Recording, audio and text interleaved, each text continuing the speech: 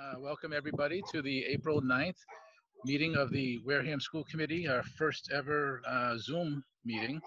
Um, I'm just stepped outside at my home at the moment, just so you get the flag in the background. And if you don't mind uh, just doing the Pledge of Allegiance, that'd be great.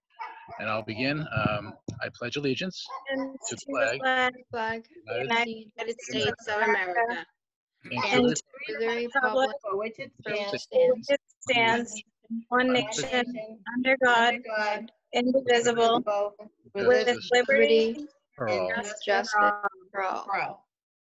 All right, so just bear with me while I walk back in.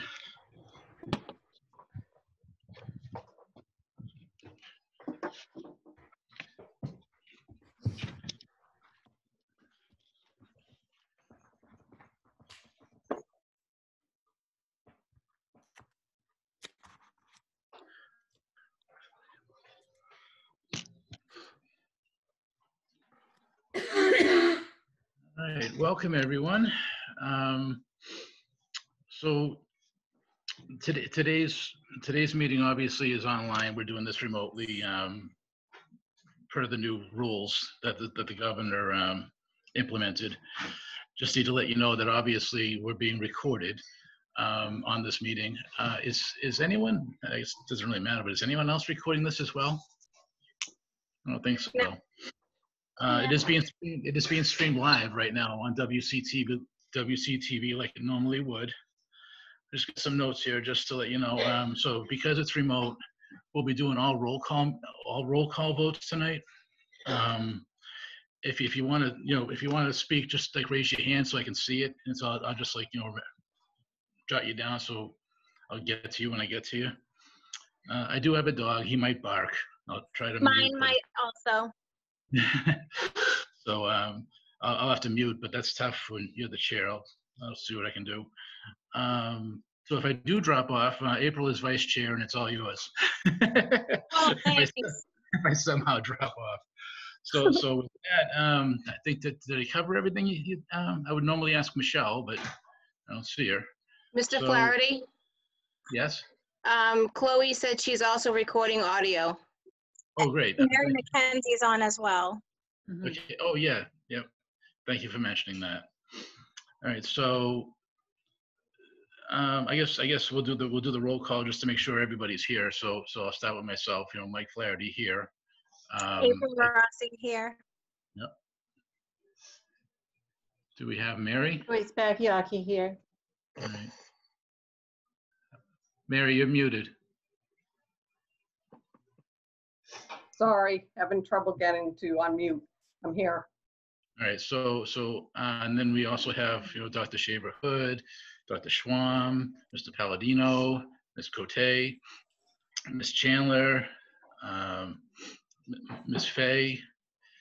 Um, did, I say Dr. Schwam? Dr. Schwam, um, Ms. Siemens. We have Ms. Roberge. Um, April, uh, so also we have also we have um, to discuss an agenda item later on the um, the union MO, MOA. We have uh, Ms. Semple and Mr. Fitzgerald. I think I got everybody. Yeah, Miss uh, Fundulis. Jane Fundulis. Oh, Miss Fondulis, where is she? Yes, yes, Miss Fondulis. There you go, right in the middle. so, um, so with that, uh, we're going to go to the uh, second agenda item, and that's a vote to suspend public participation at school committee meetings policy and the school committee standing rules of procedure policy, part two, uh, conduct of meeting number four.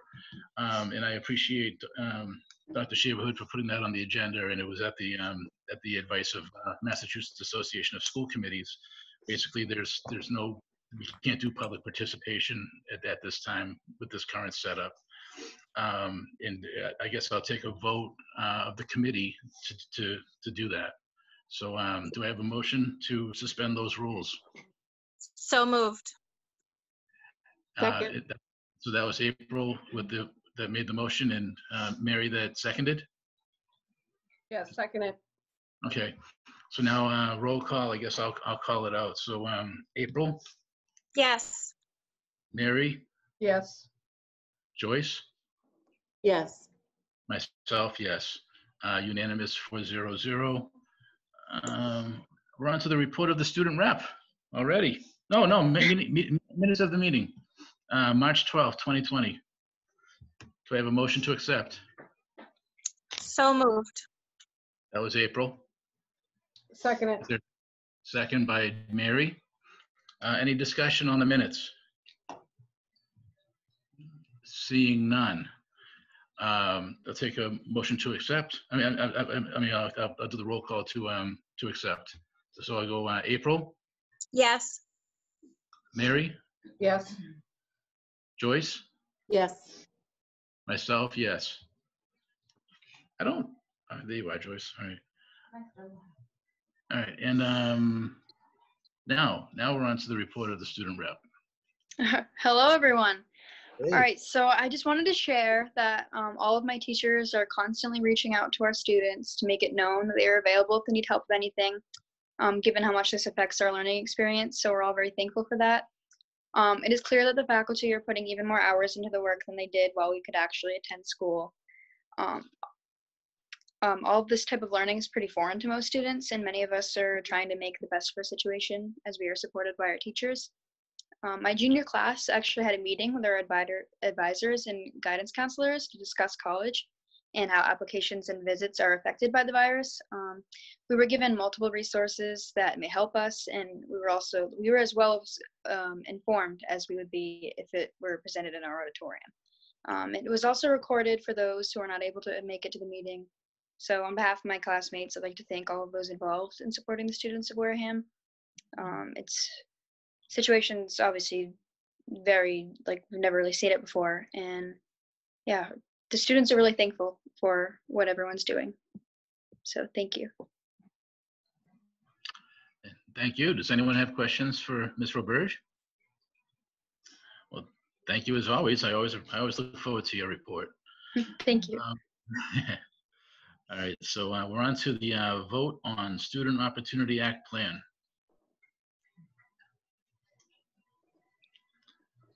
Is that Dr. Schwam? Dr. Schwam.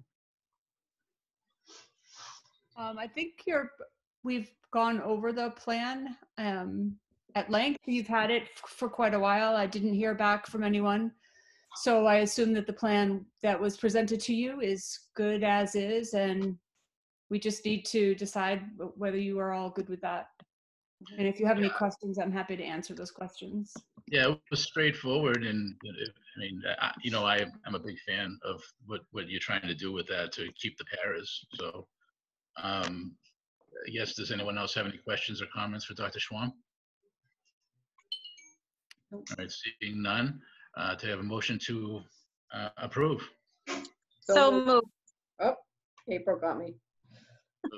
So second, Second right, so April, uh, and then uh, Mary seconded. Um, So any further discussion? Seeing none, do a roll Mike. call. Yes. Um, I'm just checking that you are, um, there are some comments coming through the chat regarding this. Just wasn't sure if, if you were reading those into record or if those are not. I, I, I can't, I don't know, I I just brought them up right now, and I don't know if there, anyone's seeing it on my screen, but, or you, I guess everybody can bring it up. But I'm not, I'm not paying attention to, to that. I'm trying to speak and and do all that, I guess. So I guess, does anyone, let's see, the echo. It seems that, uh, sorry, it seems that there's a question, Deanna Semple has a question about the Student Opportunity Act. um, With Uh, teacher, uh, Sure, all right, so Deanna, just, just raise your hand, uh, uh, go ahead. No, it's, you have the floor, or the screen. I didn't know it was really a time to talk about the themes that have already been um, presented. but So your, your- your audio, uh, I'm sorry, your audio is really bad, Deanna. act was supposed to be a culmination of um, teachers and staff. De- Deanna, your audio is really, is, is as bad as, April was. And and now, so I'm gonna try and why read. I- Okay. I, I know what the question is if you'd like. Okay, It says, uh, if you look at the chat, Deanna, I think this was it, was input from teachers, et cetera, sought for this plan. Teachers and public were supposed to be involved in the plan. right? Yeah. Can I, should, would you like me to answer the question? Yes. Okay. So the plan was uh, Yeah. first submitted as a draft to the school committee, uh, just as a sort of overview. From there, it went to all school councils uh, and to the principals. The principals then spoke to their staff. They were supposed, they were supposed to share this with all of their staff at a faculty meeting, as well as talk to student council, I mean, school council and high school students if they were, if they thought that they could um, give some input onto the plan. I then waited for feedback from all of those different variables um, and then received that feedback, implemented that feedback, then gave it to the school committee to um, March 12th, I believe. It was handed out as a draft document for them to share with their constituents, which would be those that voted for them to be in the positions that they're in. And that was the plan to do that. They were then to give it to the public and any feedback that I would have received from them, I would have input that into the plan. And so that's where we were. And that's also noted in the plan, the process and how we went about doing it.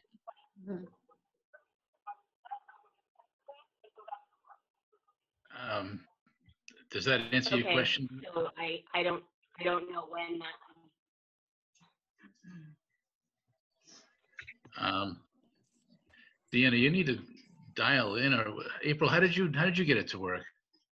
I went on my phone instead of on my Chromebook. Okay.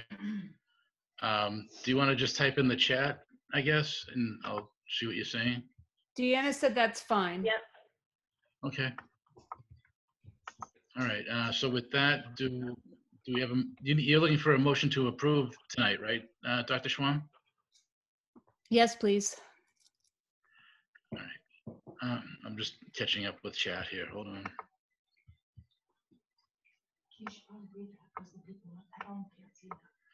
So, anyway, uh, so- so, so, all right, so we're looking for a motion to approve.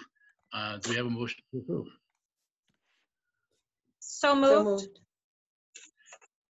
Uh, so, so I take it that was April and Mary? No, Joyce. Oh, Joyce, all right, so, uh, April, uh, mo- uh, made the motion and Joyce seconded? Yes. Okay. Uh, any further discussion?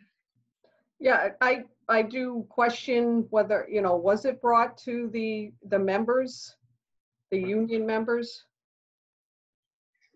We shared it at staff meetings.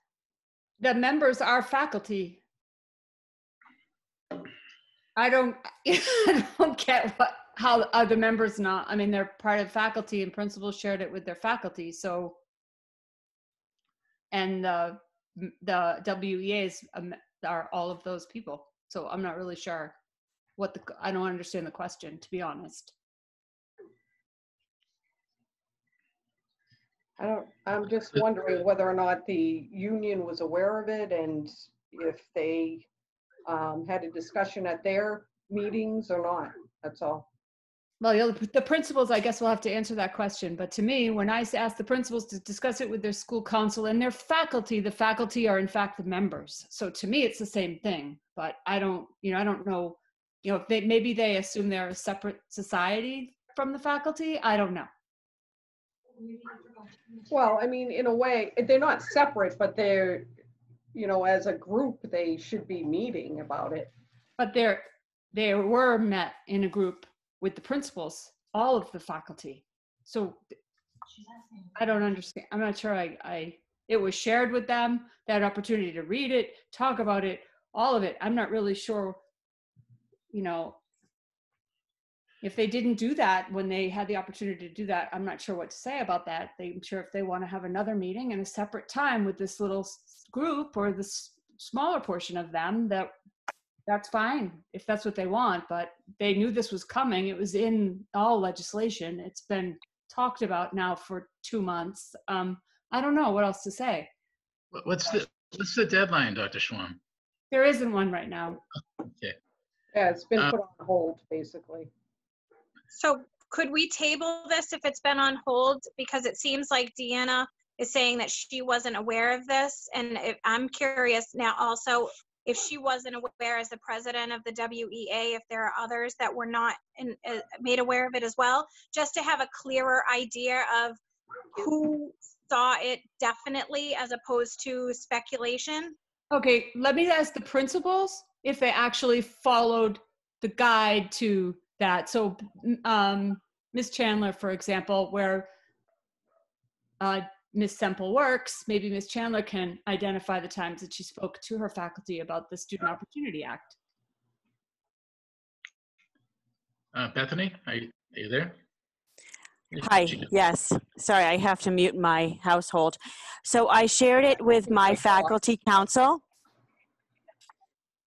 which was requested, and I have to look back at my staff meetings that happened, whether it was in February or the beginning of it, when I shared it with faculty. But yes, and it was definitely talked about with faculty council, and I have uh, the emails to that.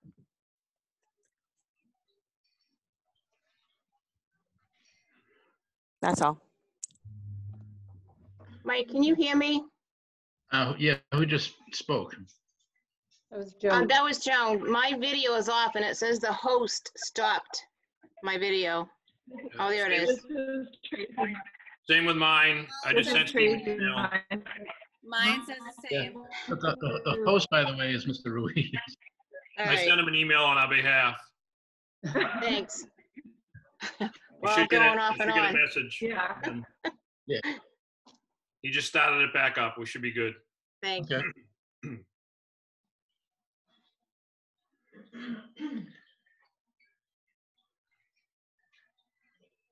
we have Deanna to answer to if she was at that meeting or not? Deanna, I, My, I don't know my, if you can, all right. I- Deanna, we, we really can't hear you. You need to dial in or go on the iPhone or something. yeah, well, I don't think you can hear me if somebody else is trying to mm-hmm. talk at the same I- time as well. If, if I could Sounds make a better now. suggestion. Go ahead. If um, the committee would feel better if we step back and then we'll share it with, ev- we'll ask the principals to please share it again with the entire faculty uh, to make sure that that happens. Um, Then we can bring it back if that's your pleasure. Okay. I, I would like that. Yeah, I and there's, agree. Yeah, there's no harm in in doing that. I mean, it's, just- there's no timeline really. Right. Yeah. So I guess uh, we'll take a motion to table and, well, hold on. So when is our next meeting? Was it, is it two weeks? Sure. Probably. I don't Um, have the date. I don't but- think it's two weeks. I think you're right, Joyce. Um, Oh, because My of calendar. vacation. Yeah, we need to table it to a date certain is the thing. So I guess, I mean, I- having, not having the calendar in front of us, I just would say, uh, take a motion to Hold on, I table. can, I can pull up the district calendar. Hold on. Well, I've got, I've got the um, school committee calendar in front of me. How about, is it May 7th? May 7th, okay. So I take a think I- motion. Go ahead. Is it Kim. May? I- I'm Well, I sorry. have it as April 23rd, but isn't that the week of vacation? Yes. So Really? uh, do you want to say May 7th just to be safe? Yeah, yeah, so uh, take a motion to table um, this until May 8th. Is that what you said? 7th, May 7th. 7th, yeah. Do you have a motion to approve? So So moved. moved. Second. So Joyce um, motioned and April seconded, and I see Dr. Schwam with her hand up, so uh, what's up? I just want to um, mention if the commissioner asks that it be before that time, that you can be flexible in that discussion because we're really going by what the commissioner is asking us to do. Is Sure. Mhm. that all right? Yeah. Um, Let's see, Deanna, go ahead, Deanna. Yeah, um, the original date, I think, was April First. 15th. No, first. Okay. So, so we have a motion and a second for May 7th. Um, uh, Any further discussion? All right, all those in favor? So, and actually, so Joyce? Uh, Joyce, yes or no? Yes, sorry. Uh, Mary? Yes. April? Yes. Myself, yes. Passes four zero zero. Um, uh, On to, um, vote to declare obsolete equipment. Yes, you have, in your package, you had two pages uh, with obsolete equipment. One page were, was two copiers, and that's at the high school. And then on the second page, you have several um, Chromebooks. These Chromebooks, if you deem parts will be taken, or we, w- if they are not able to have any parts salvaged from them, then we will uh, attempt to sell them. So I would ask that you please deem the information um, obsolete. Need a motion to deem the equipment obsolete. So moved. Second, Second it. So that was Joyce and then Mary. Uh, April. April and yeah, myself. Yep. So it was April and then Mary, sorry. Yes, yeah. Um, So any further discussion? No. All right, uh, I'm gonna do the roll call vote. Uh, Joyce? I, I, oh, you're, you're muted. Joyce? Yes, Okay. Uh, Mary? Yes. April? Yes. Uh, Myself, yes. So passes four zero zero. Uh, Thank you, Dr. Shaver Hood. Um, Vote on memorandum of agreement with Wareham Education Association. Yes, um, I appreciate Fitzgerald and Mrs. Semple being here tonight to answer any questions. We've been working on a memorandum of agreement um, for some time. We met, reviewed one in executive session. Since then, this has certainly been expanded. And so I would ask if anyone has any questions, um, we would be happy to answer them. Uh, So which, which document are you discussing? The, the one from the district or the one from the union? I, we would be discussing the one from the union. The one that I sent you today was the latest version. Okay. Uh, Questions, comments? Uh, Mr. Fitzgerald is asking for someone to turn his video on. That's, that's, that'd be good. Uh, Mr. Ruiz, could you do that?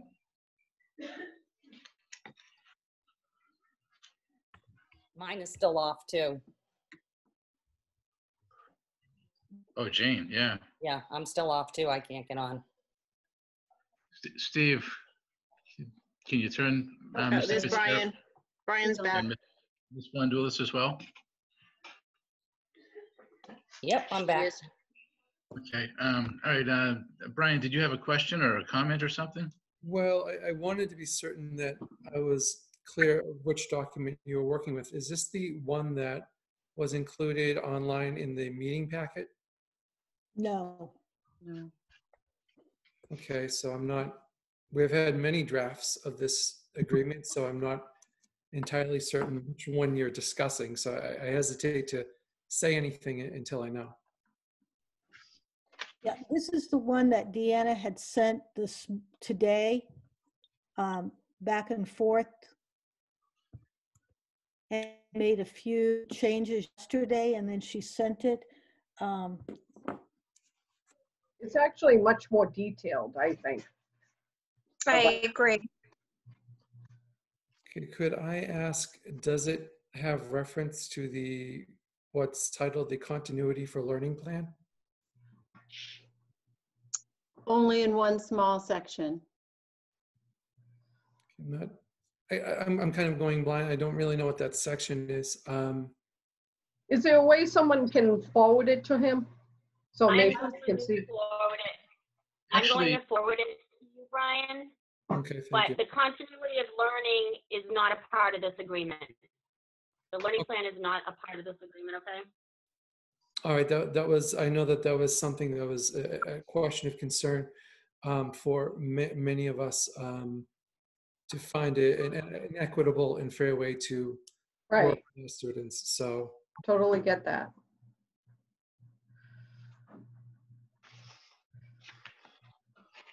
So could I ask a question, Mike? Sure. So while you're talking about that, Brian, that's a question that I have. So why wouldn't you include that um, as a reference in that document? well, Because it's, because the document has not, we have not signed off on that document. That was a document that was made without consulting of the association. And so uh, we are in the agreement, if, if you read it, it refers to a joint labor management committee. Mhm. That's who's gonna make that building based. So, Hold on. Um, oh, so I see Dr. Schwam, but, uh, but Joyce, you wanted to follow up? um, no, that's okay, because she probably wants to add to that, I'm guessing. right, Dr. Schwam? Yeah, that uh, continuity for learning plan originally was um, exactly actively uh, agreed upon by all constituents right from the start. Um, that had No, many edits that were Not the went out, part you put in feedback in. after. Dr. Hold on, Dr. Schwam has the screen. Go ahead, Dr. Schwam. uh, the association was involved in that document, so I'm not, I'm, I'm very involved, actually, highly involved in that document right from the beginning. So I'm not sure um, when all of a sudden they're saying they had nothing to do with that document, when in fact they had everything to do with that document, except for the latest that we added as a result of the school being closed longer. That second half, they're correct. That was how we we spoke to them and this is what a result of that second half of that plan but that whole first part of that plan was all about everyone being involved All right, now, um, Deanna, you may go. Yeah, um, and we don't have a problem with the first part that we were involved in. It is the, the several pages of the second part that we don't agree with and we did not have any part in, in, uh, in working on with you. We had a discussion, but we never talked about any of this, so. well it was a the discussion led to the document then the document went back out for feedback and there was no feedback given on the document what was returned instead was a memorandum of of agreement suddenly. So there was no just it was willingly after the discussion something was put together and sent back out for discussion.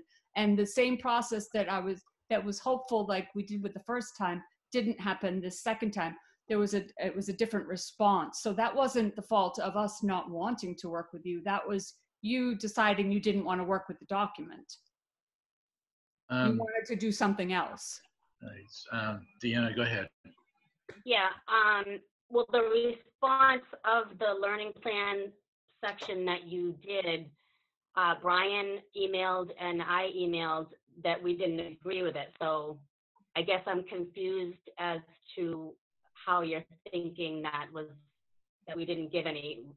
there was no there, That- there was no there was no there were a couple of things that were i mean there were a couple of suggestions that brian gave that i put i put in there. There were a couple of other suggestions that i did place in there. The rest were school-based decisions and those were from you know the people at your schools had made those decisions and that needed further discussion. But I, there was nothing to discuss because it was just a it was like uh, no and that was the end of it. That was you ended the conversation. You chose to end it. It wasn't our choice. That was your choice.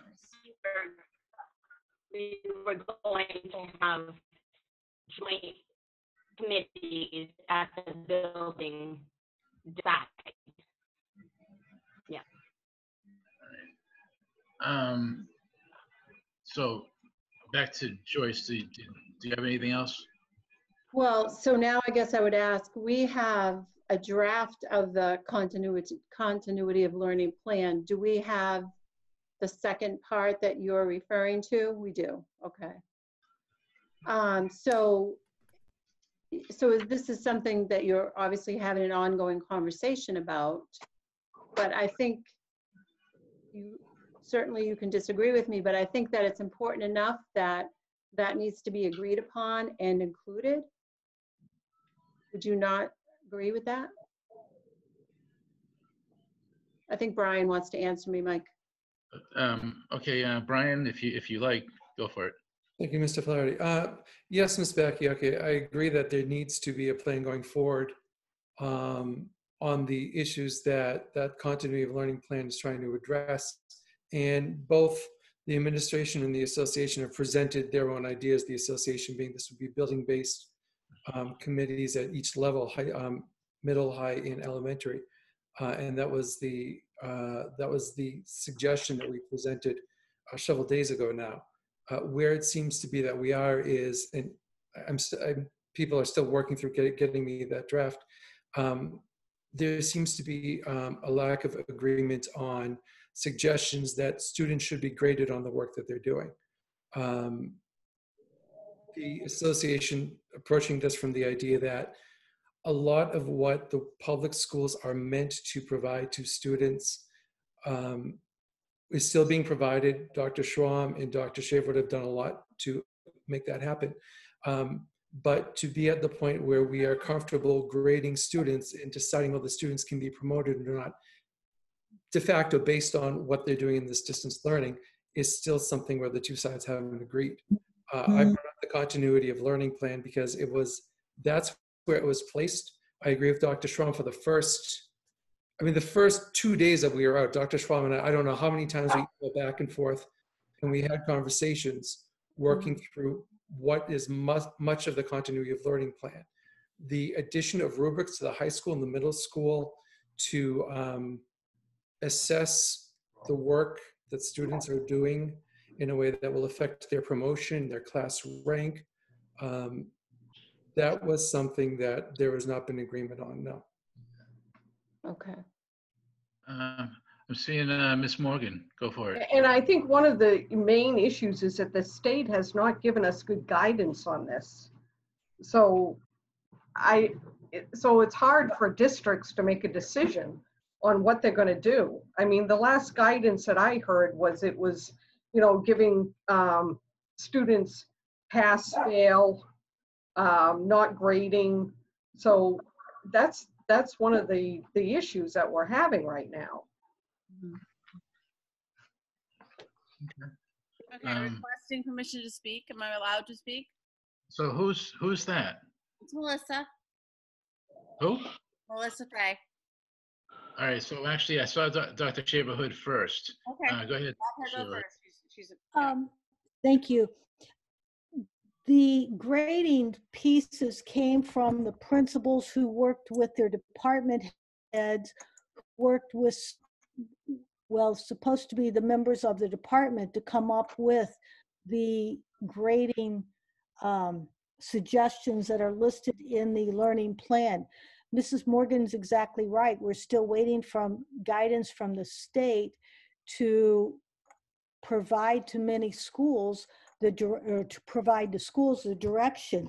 I think what happened was our teachers and administrators took it a little bit farther and have come up with a plan that they think could work for us. Um, and that's really how this got, this was put into this document. It was from the buildings. Okay. Now, now with that, uh, Ms. Fay, do you want to speak? No, I think ex- that's exactly what I wanted to say. Exactly what, Okay. Doc- yeah, exactly what Dr. Shaver said. Okay. Um, and anyone else? Oh, I see, uh, Ms. Rossi, go ahead. So I'm just trying to clarify, we're talking about two separate documents right now, correct? The, the one you guys are talking about is one that's still in process, not necessarily this memorandum of agreement. It's a separate um, work to be done, the, con- the continuity um, plan. Is that, is that correct? Or I'm just trying to clarify. Yes. Uh. The, So, all right, go ahead, Deanna. the memorandum of agreement, I really wanted to get this signed a couple weeks ago um, with just the basic um, few, you know, the couple numbered items that I had. this is more in depth, that's fine. Um, this can be signed without the continuity of learning plan sections that we have here. And that is what I would like to accomplish at this meeting. Uh, De- Deanna, just speaking for myself, uh, well, hold on, did you, was that, was that in, in response to April? Yes, yes, if there were So, two different April, go ahead. You have the floor, April. Yeah, so that's all I was clarifying, because the memorandum of agreement is what we have on the table to vote for. I was just making sure that there wasn't an additional document that we were looking at that I just didn't receive. So that's what I was just trying to clarify. Okay, um, I see Dr. Shaver Hood. Go ahead. Yes, um, that's true. And what, what we would like to do in conjunction with the association would be to go ahead and have the memorandum of agreement signed with the understanding that we are going to work collaboratively to come up with the continuity of learning. Because we feel like the continuity of learning is an essential document that will guide um, guide our district through this time. Um, so, so for my own part, uh, to Deanna, you think you, you had mentioned you wanted to have this signed weeks ago. Uh, The, the first time, what, when did we meet in executive session? Uh, Kim, do you remember? What was the, what was the date on that, Joyce? Do you remember? It was a couple, maybe a couple of weeks ago, Friday. Yeah. Yeah. And we had met then, and, and the document we were looking at then is vastly, vastly different than what we've been looking at the last week, the last couple days. Yeah, it is, yeah, yeah. Uh, Because now it's been extended longer. That was initial. That was something we put together very quickly. And, you know, I made the changes that you wanted and it still wasn't signed. Now we're into the more meat of it. So now we're, you know, I mean, I'm following what other districts are doing as well. So so hold And, on, hold um, on, and and you say it wasn't signed, I, I can't sign it without a committee vote. So that's why we're meeting in open session now to, to discuss this and possibly vote. So I can't just sign it because, you know, you know, you know, Dr. Shaver Hood and you and possibly me or Joyce or whoever think that it's, it's good. I need a whole committee vote. I, I was under the impression, you haven't met in the last three weeks? I didn't know we that. haven't- we haven't met since March 12th. Mm-hmm. Yeah, well, I, I mean, you know, I don't know. It, Dr. Shaver Hood. Yes. Um, we haven't met since we had that meeting in executive session with everything going on. That kind of threw our schedule into a little bit of chaos. So this is, during that time, you know, things expanded and we were able to, the union, the association was able to um, add to the memorandum of agreement. The question I have though, and I, I meant to ask it, is this is only in effect while we are on um, online learning, correct? And once we come back to regular school, this would go away, right? correct. Okay. So, Go ahead, go ahead, Joyce, sorry. um, so to that, to that point, that was one of my questions. So the first sentence, um, it says that this will apply during the current state of emergency, which is kind of open-ended.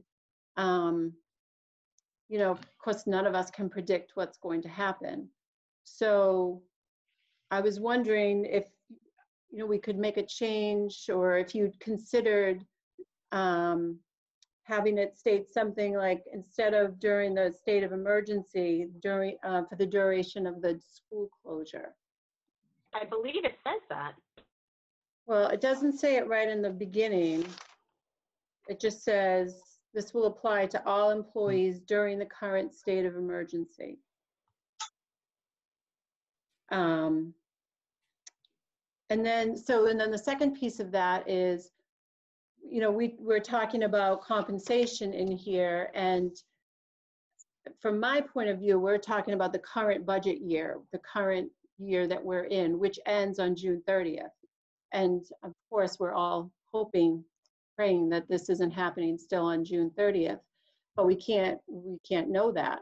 So that's why, that's why I was just wondering if you had considered, instead of having it be open-ended during the current state of emergency, if we could put those items in to define the time that this agreement would be valid. Right, Now I see you, April, but let Deanna, let Deanna answer. Do you want, do you mean that you just want it for this fiscal year? Is that what you're saying? In Yeah, I'm just- God forbid, that it went into September? Um, well, again, so this budget year that we're talking about is through June 30th. And because we're talking about compensation in this agreement, um, you know, and the school closure, of course, wouldn't go past June 30th because by then we'd be out of school. Yeah. So I would, I would say to cover both possibilities by saying it's valid during the school closure, but no late, nothing past June 30th. So that covers both possibilities for this current school year. I- Am I explaining myself correctly? Yeah, so just this, this current year, yeah. That's, um, yeah, that can be added. Okay. Um, Joyce, you all set? Um, Yeah, I can come back to you. I just, I see April's hand up, that's all. yeah, okay, yeah, come back to me. Yeah, Thank you. okay, uh, April, go ahead. So eh, to Joyce's point, right in the first, um, the first number on the document, it says, um, during the COVID-19 school closure, right in that first sentence. So I don't know that it needs to say it twice, it might be a little bit redundant. And then, um, at bullet number five, it does say that July 1st, all members of inapplicable units will advance to the next step in the salary schedule. So I believe that because this is a payroll um, and a compensation uh, related document, that it does address that by saying that as of July 1st, it, it obviously it would, I assume by reading that, that it would go into um, the next um, calendar or fiscal for us rather. So it's already in that document between um, bullets one and bullets five. Can I just, so Uh, when, when, in any other contract, you know, in, in the contract that this would be an MOA to, there is a, there is, a there are dates, you know, it's effective from this date to that date. So, yes, it does, it does reference a date, but it doesn't, eh, you know, it isn't, it doesn't have an effective date. So I think that that is important, especially in this, for that to be included in there.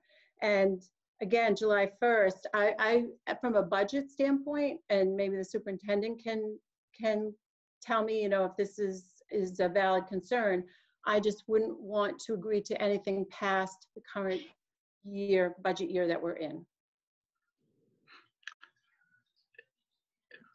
And I would, I would just echo that myself too. Mhm. But what, you know, whether, whether or not, what, whatever I'm gonna vote on, it would, I would want it to, you know, end at the budget year and be revisited.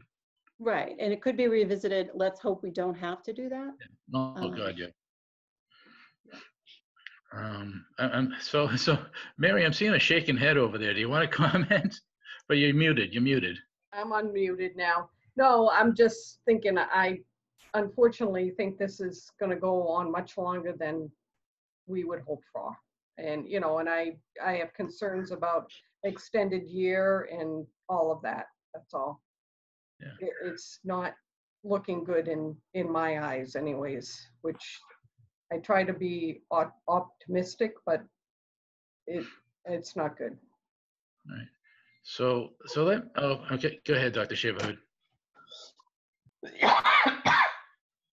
Oh, you're muted, you're muted.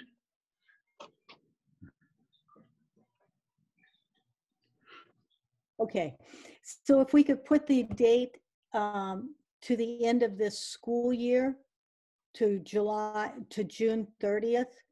And then if we're still in this situation, we would be revisiting everything because it's going to affect the summer programming. It certainly will affect how we approach next year. And I think this would give us time to see what's working, what's not working, and make any adjustments that we would need to. So if the association would be willing to do that, I think that would be a nice time period. All right. I agree Um, with that. Okay. So, so myself to Deanna and or Brian. On item number 16, uh, says here, employees who do not have regular classroom teaching responsibilities and cannot support remote learning may engage in professional development activities or curriculum work of individuals' own design with approval of their direct supervisor. So what would happen if they didn't get approval?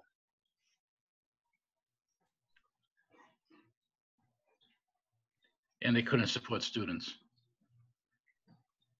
Can I speak to that, Deanna? Is that okay? Yeah. Who is, So- who's that? It's Oh, Melissa. that's- Day. It's Melissa. right, it's- Your video is like frozen, it's just a picture. Oh, hold on, hold on. My computer's acting really weird. Hold on one second. Hold on. There you go. So I think that this is mostly for our paraprofessional group. And we have recently um, procured an entire 36 course professional development um, I don't know how to how to put uh, a, a course load, I guess, of um, 36 classes for our paraprofessionals, including um, some that are offered by our current BCBAs in RBT, Registered Behavior Technician, and also an ABA, Applied Behavior Analysis, um, that they can participate in. So we have those things available for them. And so I think that we have enough um, opportunities available for professional development. That's what I'm hoping is going to happen for a lot of our staff.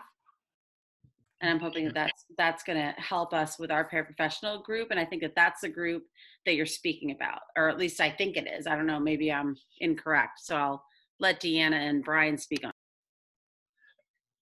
I- will, listen- I'll listen to Deanna O'Brien, but Mary, I do see you. I'll get to you after them. Um, yes, this was essentially for the paraprofessionals um, who wouldn't have teaching responsibilities. And they've been working mostly with their building principals, getting direction from them. But, um, you know, I guess if, if, if they weren't able to do any of the, um, you know, things they were being asked to do, then professional development was going to be probably, as Melissa said, an option. Okay. Um, And Mary. Michael, Mike, certainly it's not a requirement, but certainly it, it right now is an option. And it's an option that we have procured not only for now, but I think for future opportunities. It provides all of our paraprofessionals, everybody, with 36 hours of potential um, professional development opportunity in a, in a variety of different topics, as well as an additional um, ability to get certified in ABA and to get certified in registered behavior tech.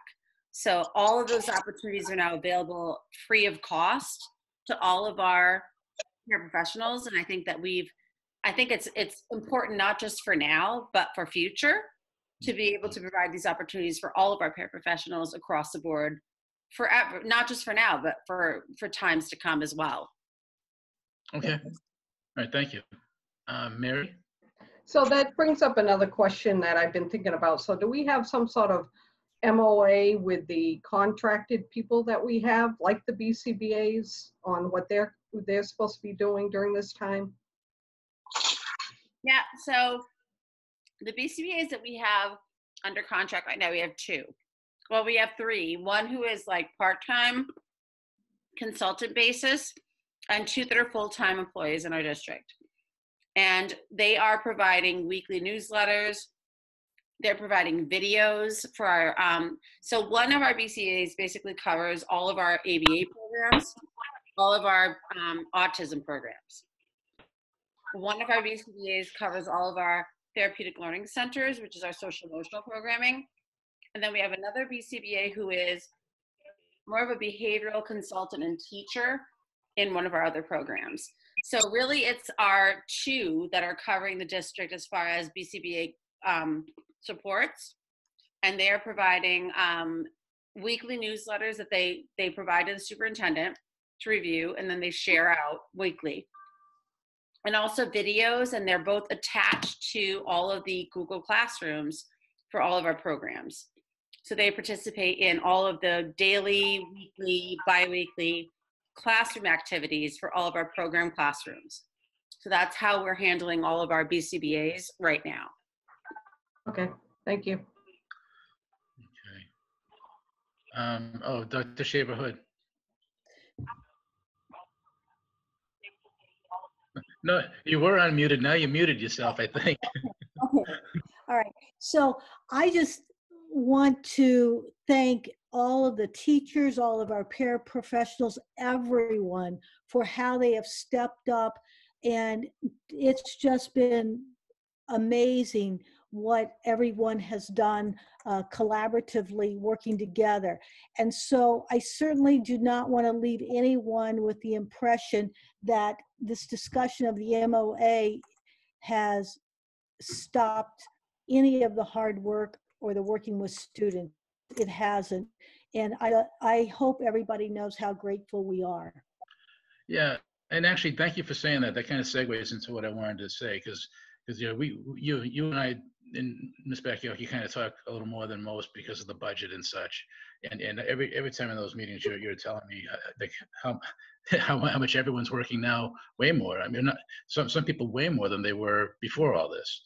And it kind of brings me into the next question. So, I mean, you, I guess would everyone, uh, you know, any of the staff, would they, would the staff agree? I mean, people are really working probably even more hard than they usually do. Yeah. I guess I'm seeing Ms. Cote nodding. I'm seeing Doc- uh, Mr. Palladino nodding. Everybody's nodding. I get a, vers- got a very uh, ri- rigorous nod there from Ms. I would say, um, so in my discussions with, so we are on a listserv and a weekly meeting with probably over a thousand people who are special ed directors, either in um, public school systems, in um, collaborative situations, or in private school situations across the Commonwealth. It's over a thousand people. And we participate, and Dr. Schwam participates in these meetings with me as well. And I have to say that we are, um, Dr. Schwam and I are amazed at how far ahead our district is in what other people are doing. And sometimes even, and please, Dr. Schwam, jump in here, but I think sometimes even further ahead than the state in some of the stuff that's going on. Um, we are providing Oh, no, you just froze. Oh, no. That was good stuff, too. Keep going. Can you hear me? I hear you now, yeah. Got me now? Yeah. Yeah. So I think that we're providing um, more than what the rest of the state is providing. And I think we are in a much better position, and Dr. Schwam participates in all these meetings with me. I think we are in a much better position than most of the state when it comes to what we are providing for parents. So I'm super proud of what we're doing for our families and super proud of what we're doing for our students. And I think that we, that our staff really, as I meet with them in several Zoom meetings every day of the week, um, several meetings a day, I am seeing um, the, the dedication and the um, the amazing um, thinking outside of the box that we do as as a school community to support our students and support our staff and support our families.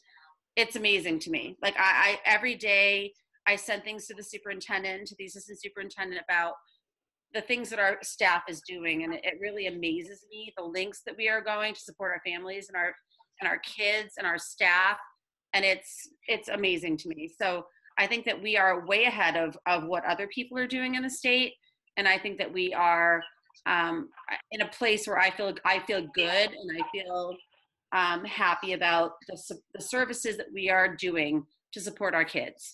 Yeah.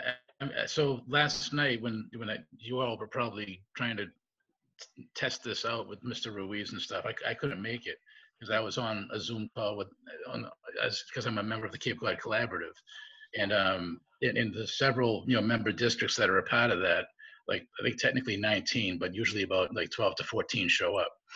So so we were doing sort of a round table of what everyone's doing in the districts and stuff like that, and, and yeah, we we we are we are we are like I, I I had to like bite my tongue. I didn't want to gloat too much, you know, because I was just I was just so pr- proud of our district. But I but I did I, I did I did cheerlead a bit. I Um, have to tell you, like Dr. Schwam and I will sit on some of these phone calls and we are sometimes shocked and sometimes proud and sometimes dismayed about where we are in comparison to other districts. And we Yeah. are so far ahead. And Andrea, please jump in.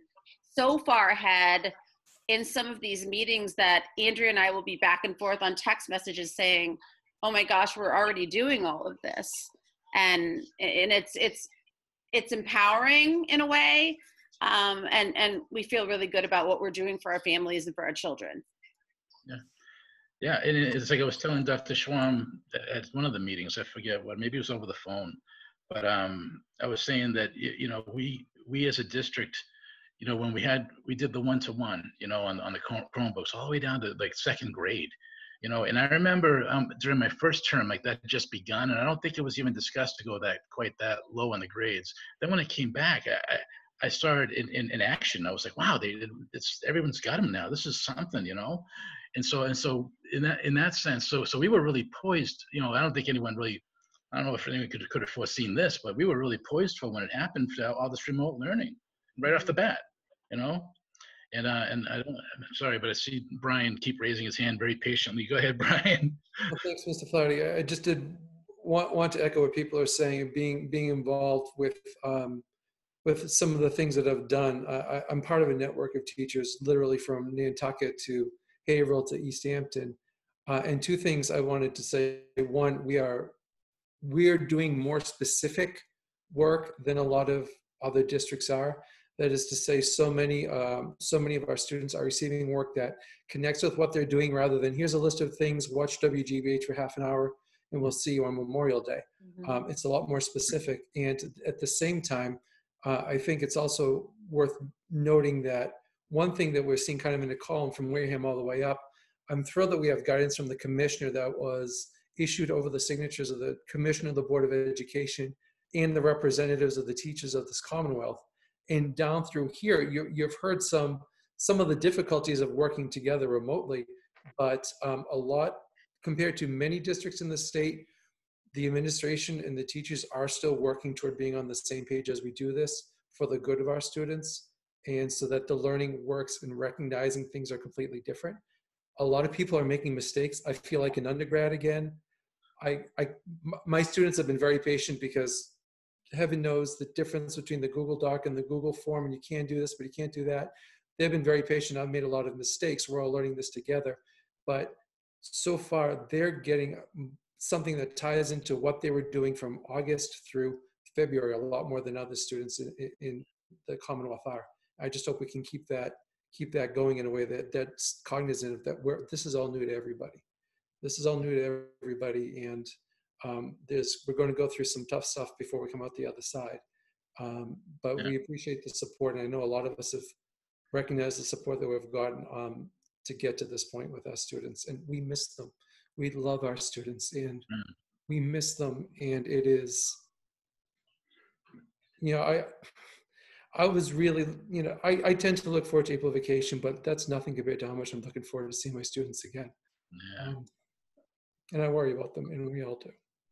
Yeah yeah thank you for that um april i, I see your hand up Yeah, uh, not, I, I absolutely agree with everybody and I, from, just from other moms in other districts and other um, educators I know around the state, we are definitely way above where a lot of people are, which is a huge accomplishment. And I think all of our teachers and staff in our entire district deserves a round of applause. I just know that this would tie into something farther down the agenda, and I just feel like we've gotten away from voting on the memorandum. And I just Yeah. want to try to bring that back so we could get that um, kind of voted on and then continue to move on with the agenda. Well, th- thank you, Vice Chair. Um, I appreciate it. I- But, uh, but so, so anyway, so it segues because, I mean, all of the hard work that, um, that our, that our staff and teachers are doing. And it brings me to the point here on, on item number nine on the MOU, uh, MOA. Um, so, so I mean, we're all in agreement that everyone's working really hard, more, a lot of us more than usual. but now we want to set up some joint labor management committee to, you know, go over, you know, re- responsibilities and stuff. I mean, is that really necessary? I, I, really, I, when I saw the district's version, uh, you know, that included the continuity plan, I, I really liked it. And it, because, because so little of, so little of what we're discussing right here is focused on students. It's, it's more so on, on, on staff. And, and, and, and I know, and I know, that, uh, of course, when everyone, everyone, the whole point of the whole past 10 minutes was to, you know, gloat about how great our students are doing and they're being taught and everything. But I, I'd like to see it memorialized in something more, more, more, you know, like, like in the, the district's version that had all of that, all, of all of the, um, this per school, like all what was, you know, hopefully going to happen with students and learning and all that. But it's it's not in this. So so I mean, do we really need to go through a joint labor management thing to to do that in in this hopefully short amount of time this is going to be? And I don't I say short amount, I mean it's, it's right now it's it's up to like what uh, May fourth or something, but we only have so much time left in the in the in the school year. Uh, so I see Deanna with her hand up. Go ahead. Um, yeah, so Mike, that is what we were just talking about, that the learning plan would be done and accomplished at the building level with teachers and administration at each building. I'm an elementary school teacher. You're not a high school teacher. I would not want to be deciding um, how they grade their students right now. I think it should be left up to them. I've heard, um, you know, um, at all the different schools, their their um, you know versions of what they want, and it it it may not be this. It may be this, or it may be some of this, but um, and it's not some drawn out thing. It's going to be something that's done relatively quickly. So let, let me ask you this. So now, nothing's been signed, uh, you know, nothing are agreed upon by both of us, you know, the committee and the union. And, and yet, I mean, so uh, I know there's concern about pay. Now, you guys are all being paid, right? No, nobody's lost any money, I'm, I'm asking. That's, that's true, right?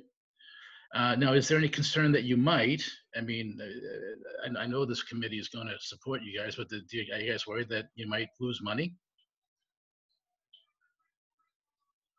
That's to Brian or Deanna. Could, could I- could I just answer that, Dana?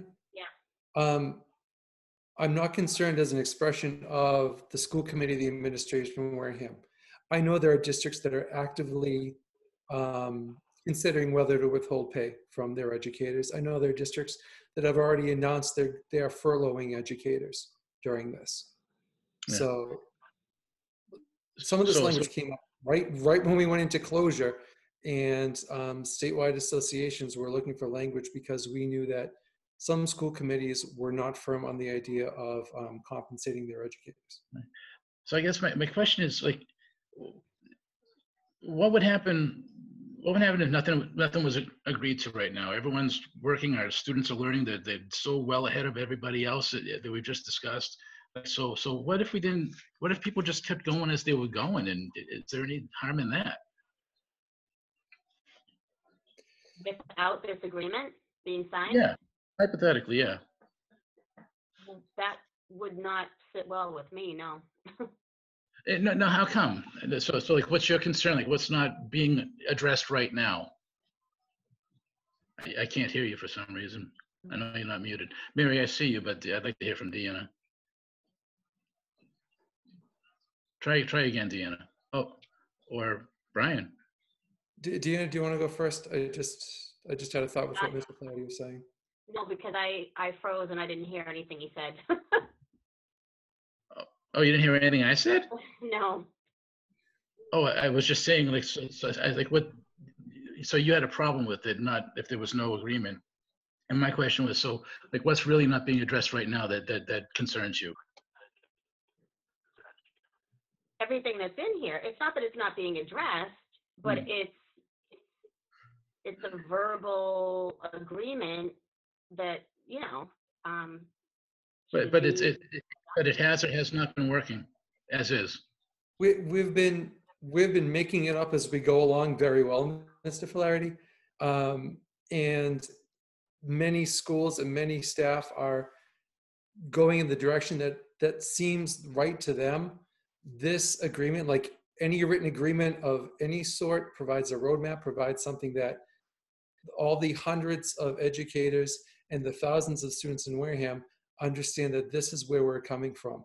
There is nothing we have about what to do in a pandemic. And I think there was just a natural instinct to understand, well, if someone has to self quarantine, what is that, what is going to happen to them?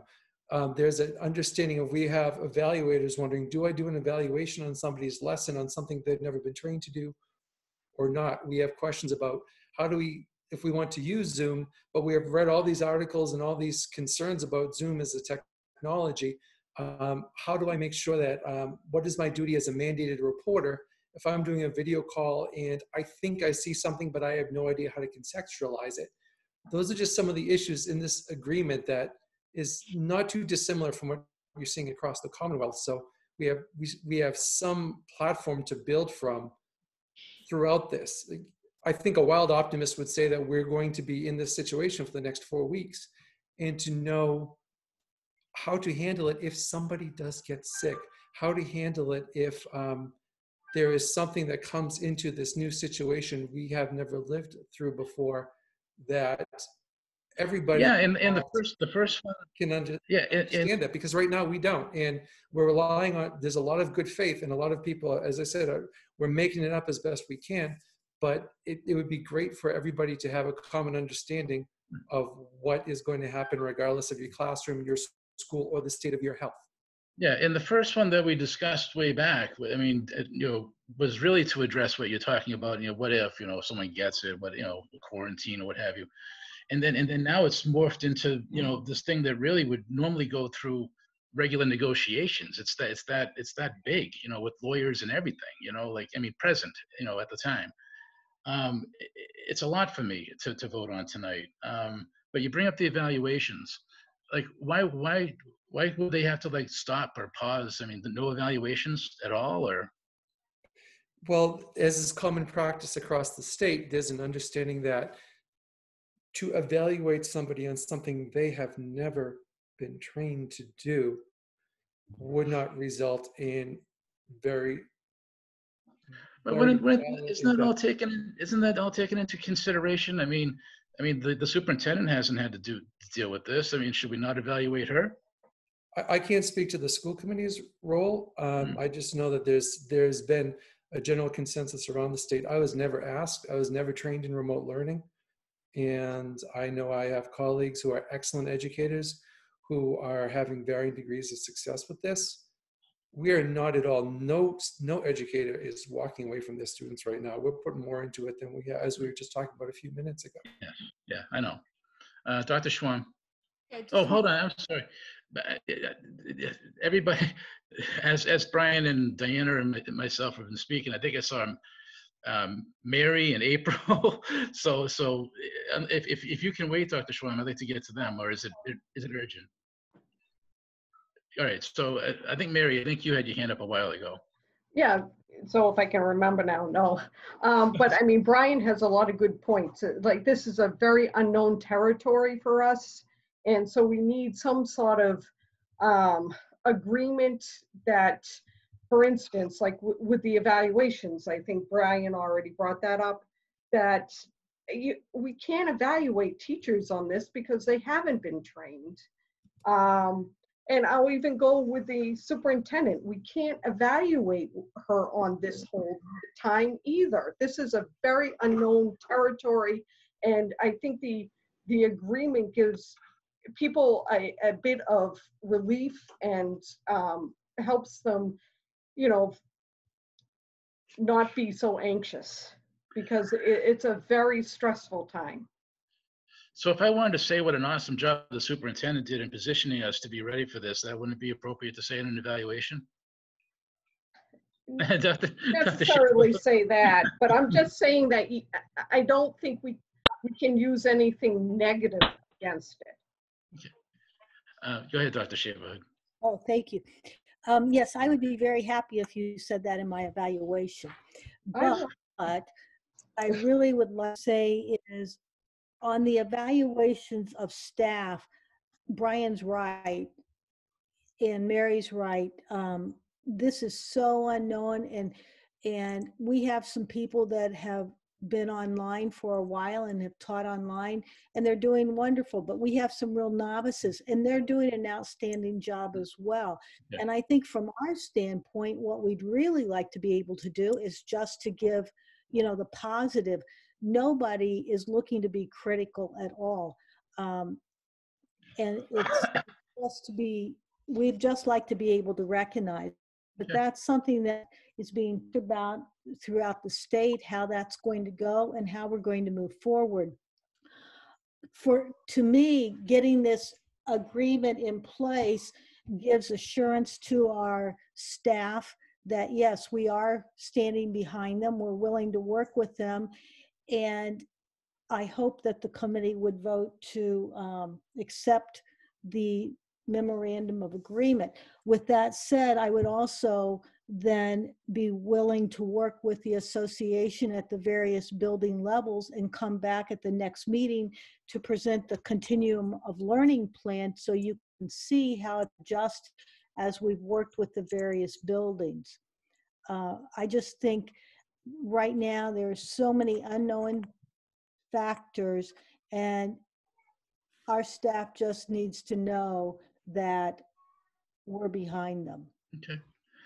Uh, April, you've been really patient. Sorry. Go ahead. That's okay. So at, at the end of the day, I mean, a- as many different avenues as we've gone off on um, how well our district is doing and all of the things that this memorandum would cover, I think everybody agrees that this is a completely unprecedented time. But at the end of the day, every single one of the teachers in the union and the WEA have a contract. And all this is doing is this is adding verbiage to their contract because this is such a new um, world to navigate during this particular crisis, which is mentioned in the memorandum. It's only during this particular crisis. So going, I, you know, as, as much as we've kind of gone on a little bit off onto different tangents about you know, so many of the positive things, which I obviously love hearing. The end of the day, this is just putting verbiage into their contract to cover them um, during this particularly specific state of emergency, which is which is stated. So, I mean, I, I don't know because once this state of emergency is no longer declared, this becomes a moot point, and they just resolve back to their existing contract. Okay. Um, uh, Joyce, uh, yeah, go ahead. Sorry, I just, I just had a question um, about, I believe it's number four. Um, It, it, it has to do with um, receiving full pay if someone is home because they're being quarantined. And I guess uh, my question is about this item, but in, just in general, there's no reference in this document to the um, legislation that was passed um, that addresses extra sick time and um, extended family medical leave around, um, you know, around COVID. So I was just wondering from Brian or Deanna if that was, if you considered including that or why you didn't include it.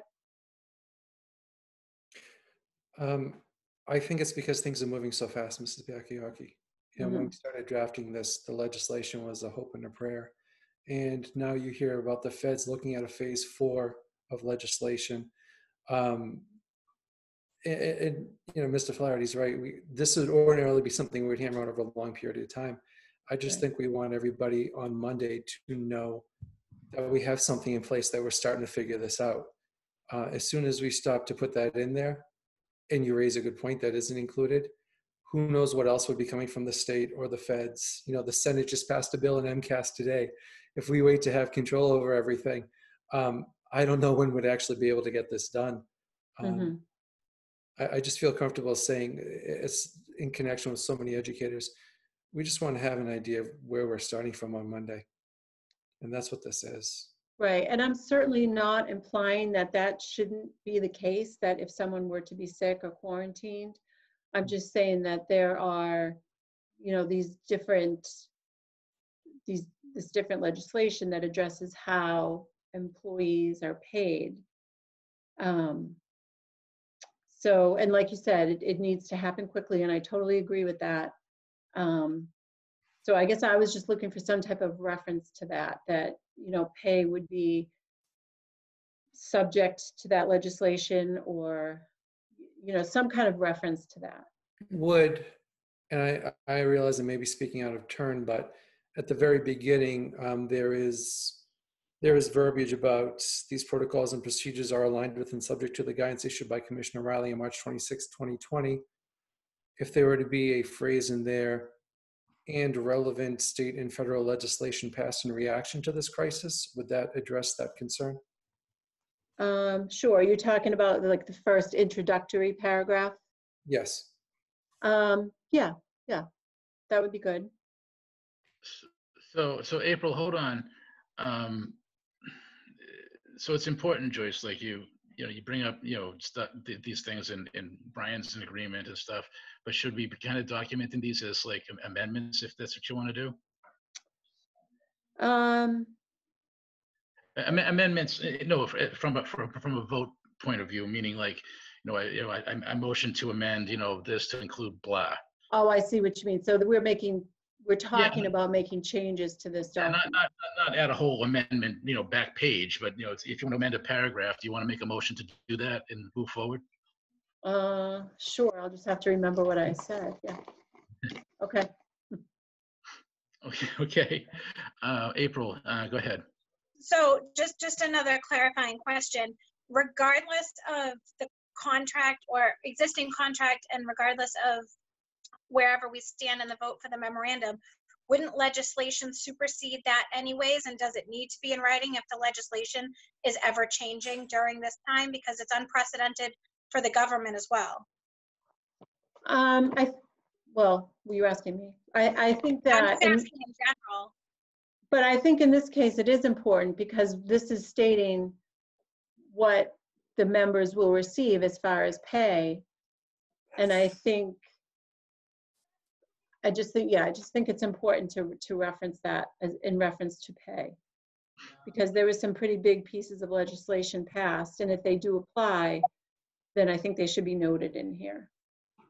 So are you saying that, as Brian had stated, after the sentence where it says that, you know, um, about the closures implemented by Commissioner Riley, would then the sentence after that include, you know, the payment or anything would go, like something to mention that would include any and all legislative changes that would affect any of the um, line items below during this time?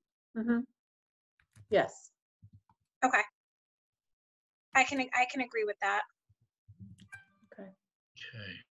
Um, anyone else? All right. Um, so I guess we're probably getting close to a, a vote, one way or the other on this. Um, do you want to make the motion that- with an amendment on, on a paragraph or something, Joyce?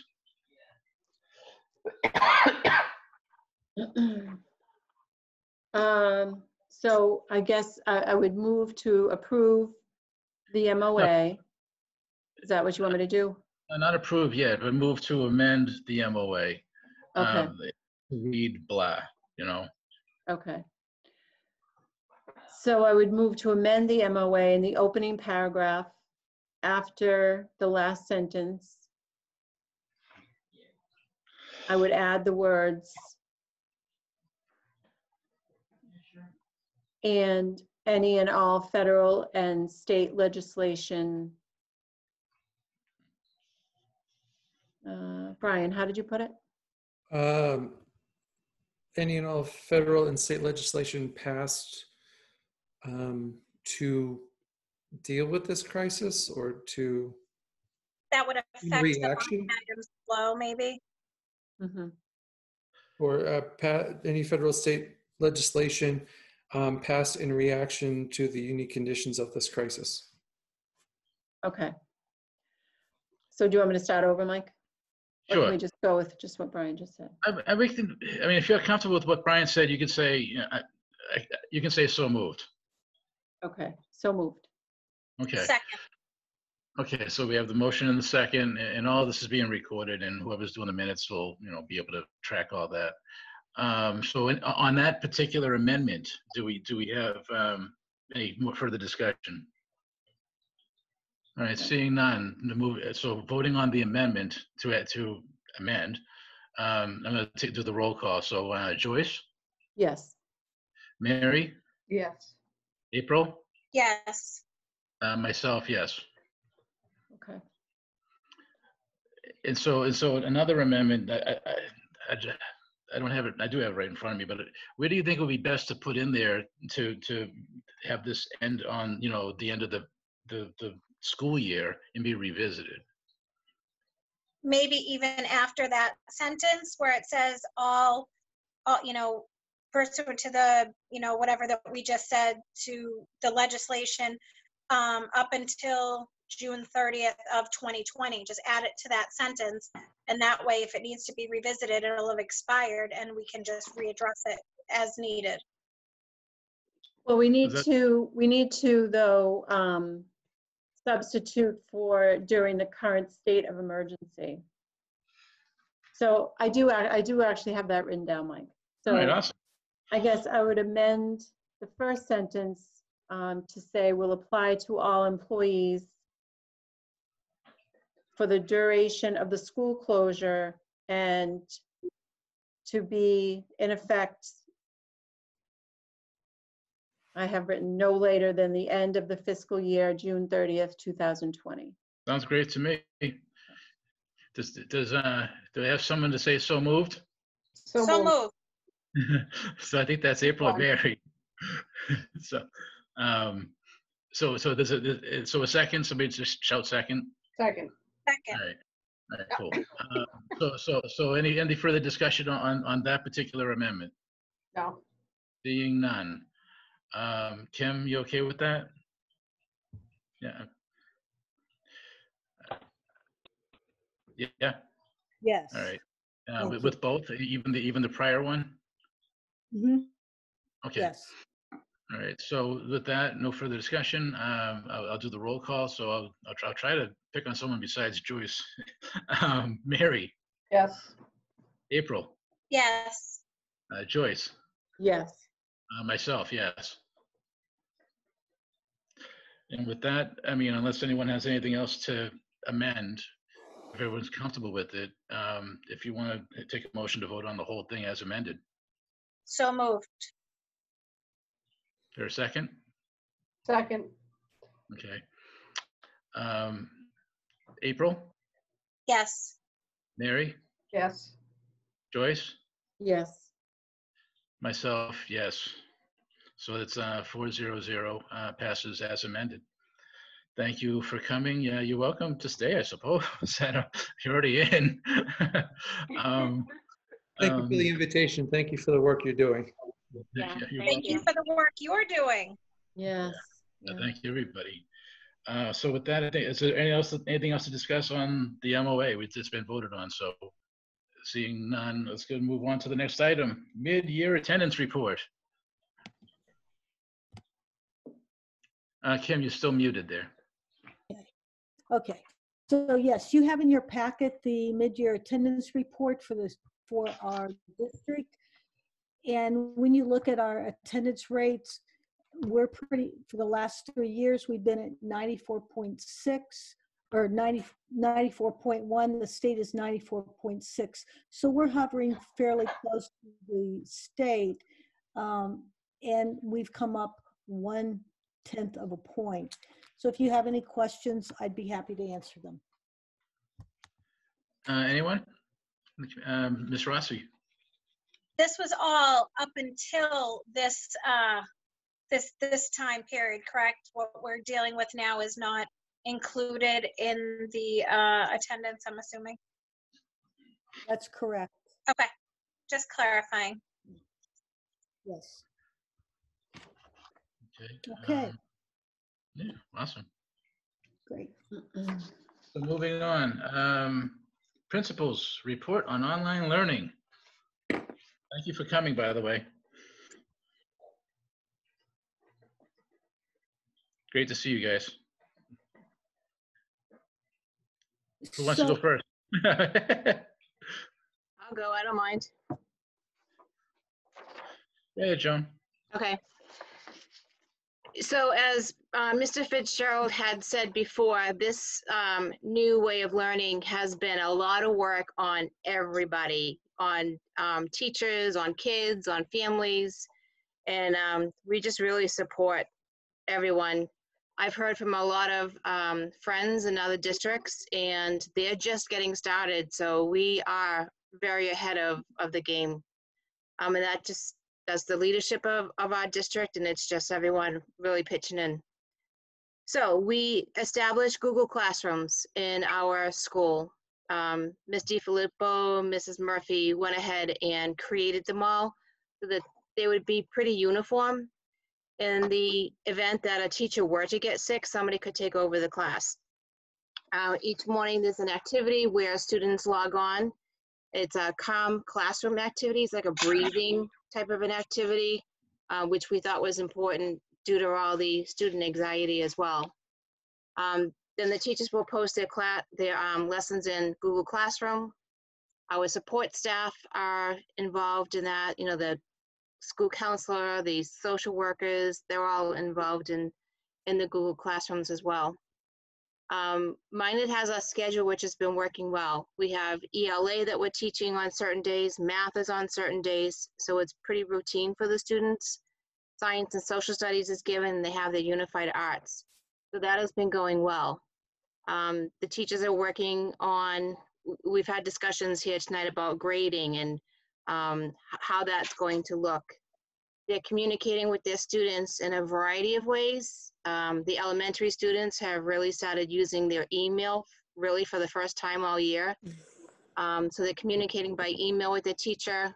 The teachers are now doing Zoom meetings, so they're doing morning meetings with their students. They're very excited to see each other. They're very excited to see all their teachers. They are feeling a, a huge um, anxiety over this whole thing. So just having that face in front of the screen has been really reassuring for them. So this is a lot of the feedback that I'm getting.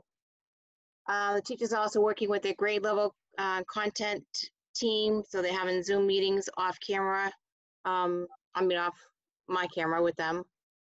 Uh, students are completing their assignments. They're sending in the, them into the teachers. Um, we have packets we've sent out for those families who are not online right now. Um, some families came by the school when this first started and picked up the textbooks. So we're making sure we're, we're reaching out to everyone. Special ed teachers are connected to the Google Classrooms. They've reached out um, to lend support in any way that they can through these enrichment activities that we've been doing. Um, teachers are going above and beyond. They're online all day. You know, I, I know it, we say during the school day, they want to make sure their students are feeling relieved and not as anxious. So they're trying to help as much as they can. They're calling on their personal phones, um, which I think is great. Um, not necessary, but it's great. Um, they're texting, they're emailing, they're using Dojo, any way that they can to communicate. We're trying to um, keep things as routine as possible. So we still do our Student of the Week. Um, we did our Scotty Montero Awards.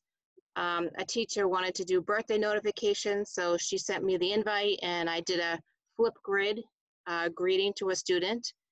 And we are all um, learning a whole lot of new things. Um, one of the teachers said, I'm really out of my comfort zone, but I've made a point to learn these different things so that I can teach my students how to use it. So it is new for everybody. And they're just using a variety of platforms um, with the math and the reading, Lexia, ABC, uh, ST Math, um, different programs they're using, as I mentioned, Flipgrid, um, Screencastify, Explain Everything. This is all new to our staff. Um, and I really have to give um, Mrs. Murphy, Miss DiFilippo, a huge amount of credit, especially Miss DiFilippo, because she's been putting out a ton of videos on Google Classroom for parents. Um, what is Google Classroom? Um, how do you do it? Um, videos for students on how to do the daily attendance.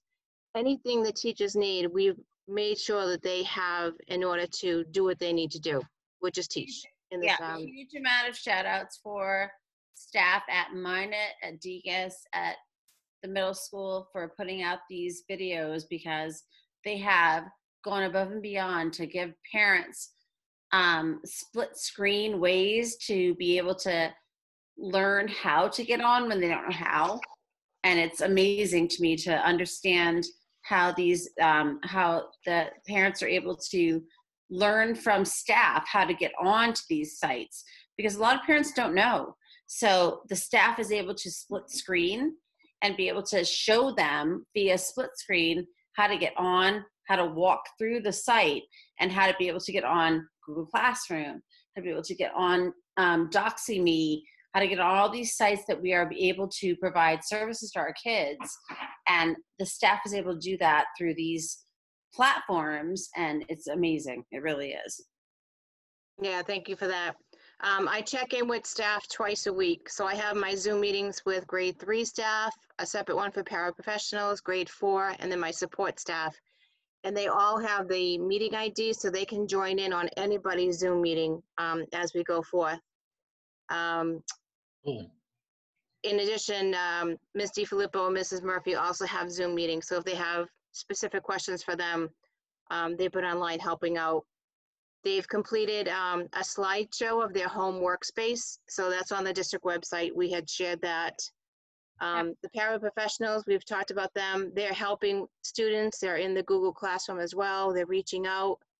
They have been amazed, amazing as far as making um, positive notes, um, jokes and riddles that they have dropped off for the lunches. So all these things go in the, the lunch bags and the breakfast bags.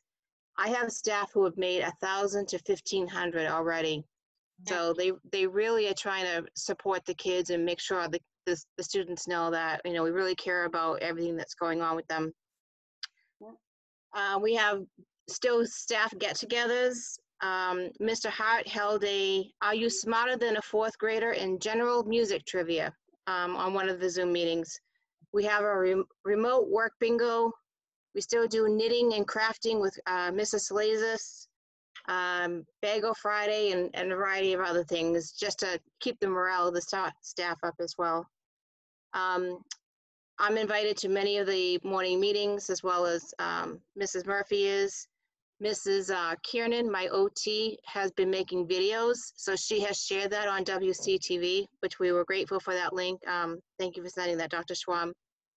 And just, everyone's trying to reach out as much as we can to families to make sure they have what is needed to get through this. Um, The tech department, I have to say, has been amazing at troubleshooting with families on things. Um, I know um, anything that's come up, whether it's a new Chromebook, we just make sure that um, the students have what they needed. So that's uh, basically At 101 wrap up. And I would say that our BCBAs have been amazing at providing videos and links and supports for our families. They've done them on our individual school websites as well as our um, Wareham Public Schools website to be able to give families opportunities to be able to access resources in a variety of different areas PT, OT, speech and language, ABA, social emotional learning. And we are uh, honestly eons above any other districts around us. So I'm super proud of the fact that we have all of these resources available for our families. And we are always checking in consistently um, with all of our families who have the neediest students in our district. And we are always uh, very vigilant about that piece, about checking in with these families who have the neediest students who need the most support in our district. And that's the reason why um, most of us are here and continuing to keep active and um, providing the supports for our students and our families because we want to make sure that they have these supports available for them during this time. Excellent. So, um, Ms. Siemens, earlier, earlier in your thing, you mentioned that the, the kids are really happy to see their, fa- the faces of their classmates and stuff. Now, when there's that many, are they tiny little, like little thumbnails on the screen or how does that work? It depends on how many um, sign on at that particular time, if they join in on the morning meeting. they may not be able to. Sometimes some of our kids can't get on until nighttime because of dad's coming home with a hotspot. Um, Oh. or families don't want the students online until they get home from work. So there's a variety of times. So it's not everybody, uh, but the ones that have been able to get on, they're very excited to see their, their classmates. Um, So I think uh, Ms. Morgan has a question. Uh, you- You're, Yes, y- yeah, so what is the average, do you think, of the students signing on? So some of our classrooms, it's hundred percent that they've been on, whether it's um, the attendance or they're doing their work. I have about eight families that I know of right now that are having difficulty. Some don't have internet at all. Some are having um, internet issues sporadically. Um, I do have some families that are with the textbooks and the paper right now. So we're still trying to reach for them, but there's not a whole lot of families that are accessing. What we're trying to do now is check in with the families for the students that aren't completing all of the work. They're doing some of it, but not all. So we're touching base with them to see if there's anything else that they need in order to complete the work. uh, anyone else for Ms. Siemens? Ms. Chandler? Well, hello, everyone. Um, I would reiterate exactly what Joan said, is that this is a, a definite, and what we've all been saying, that it's definitely a different time. We're kind of, you know, mowing down the path, so to speak.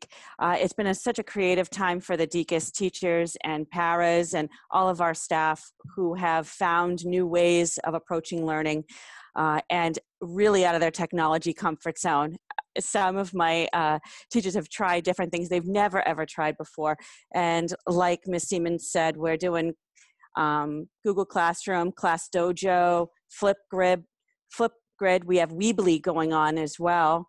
So there's a lot of different platforms, and uh, it's exciting. And also, if you look at this Zoom here, you know, even on Zoom, if you see at the bottom it says where it says invite participant share screen, that share screen gives the teachers an opportunity to show content.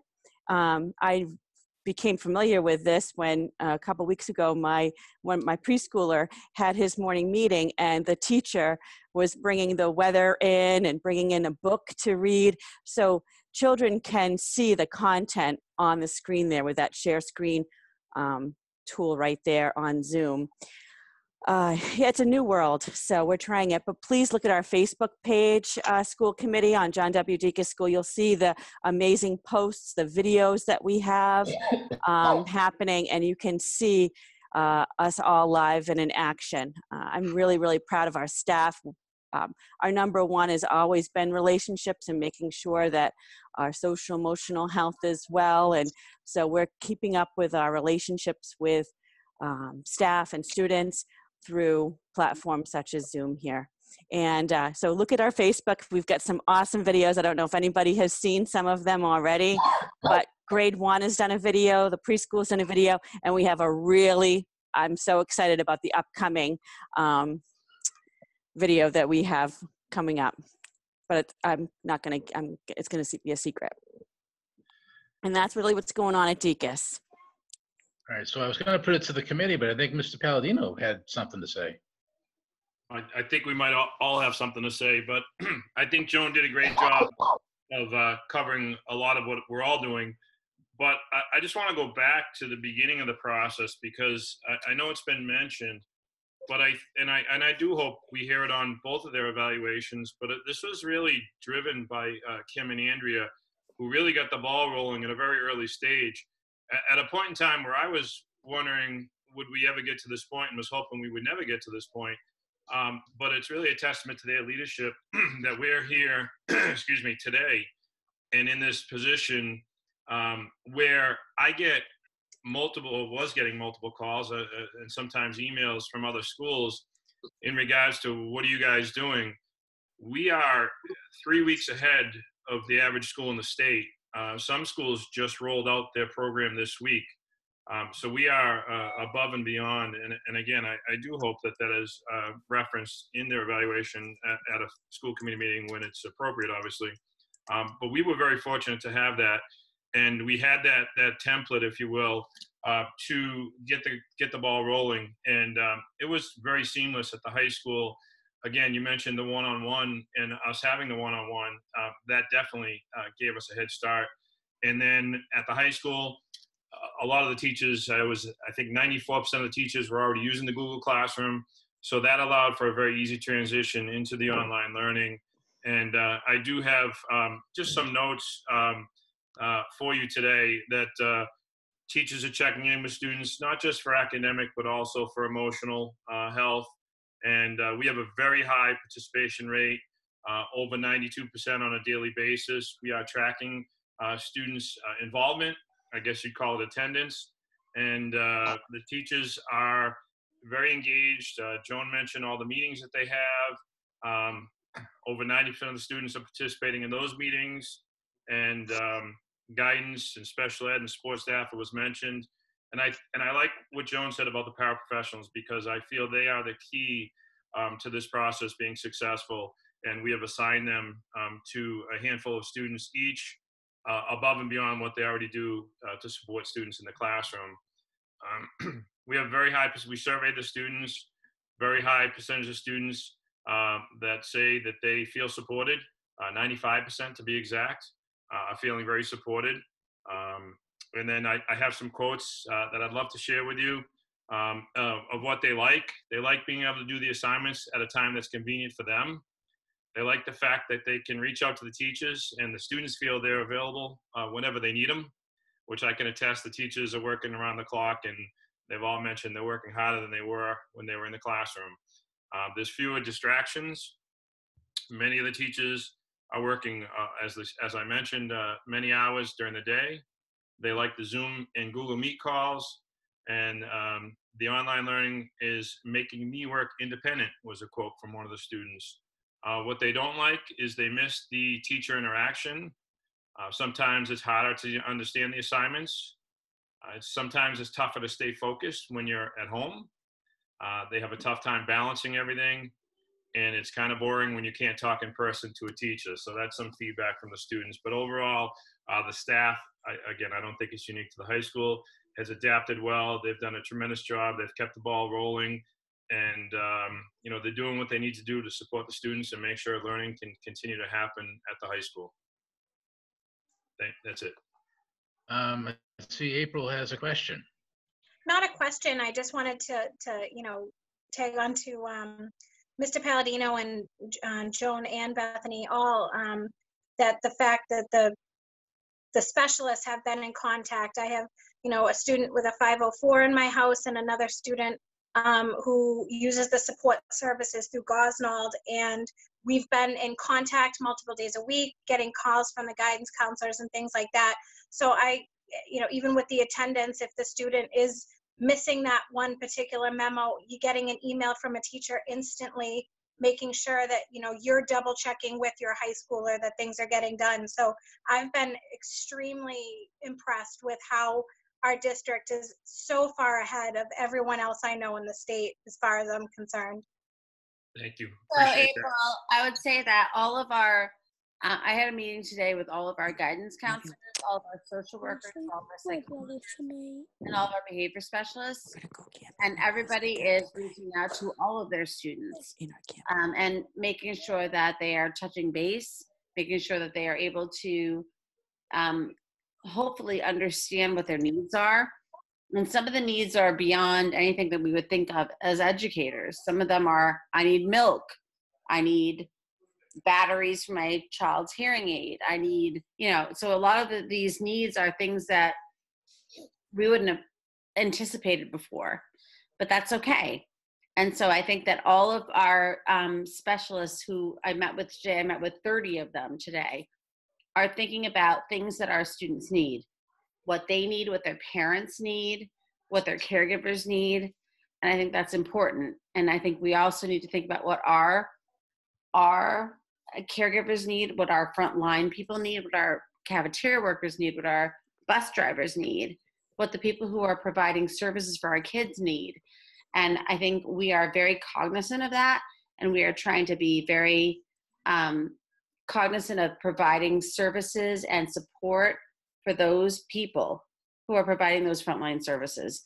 So I think that um, we have been trying really hard to support that and trying really hard to make sure that everybody who needs to be on board to support these these people and these families and these kiddos are there to support them. So I'm hoping that we are successful in that and we are trying to coordinate that effort and all the principals. I know Joan and I have been on several Zoom meetings with a lot of our staff to try to make sure that we are supporting all of our service providers to be able to support our families, support our parents, and support our students through this throughout this whole crisis.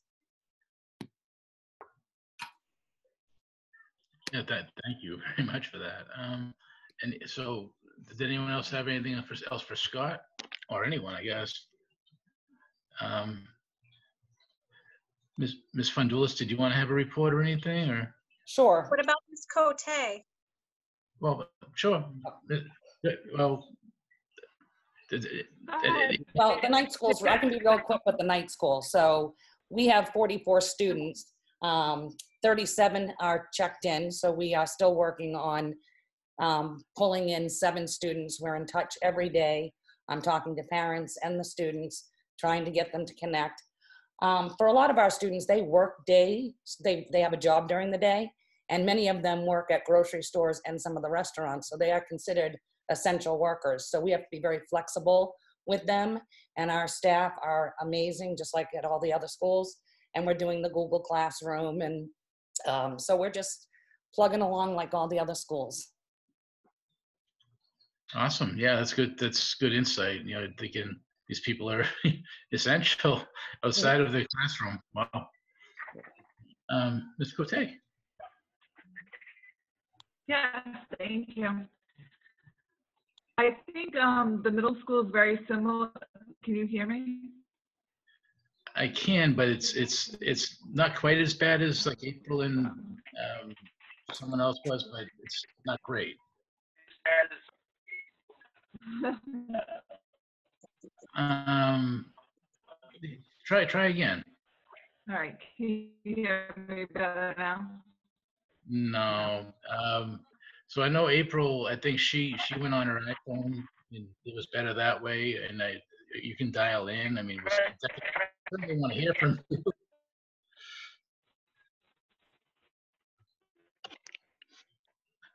Now, now, yeah, you're you're not getting anything. Grace, maybe try what you did before and, and like come off and go back on like you did earlier. I think go like come off and go back on like you did before. Yeah, I don't even think she's on anymore right now. Yeah. But she's coming. Yeah. Because earlier we had a meeting and she went off and came back on and she was much better. Um, Sorry, did that help? Did that help?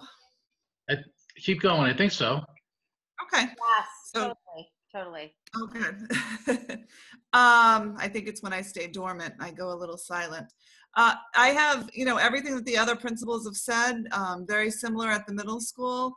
Um, the counselors and administration have made over 400 calls um, to families. We're just really trying to support them in the best way that we can.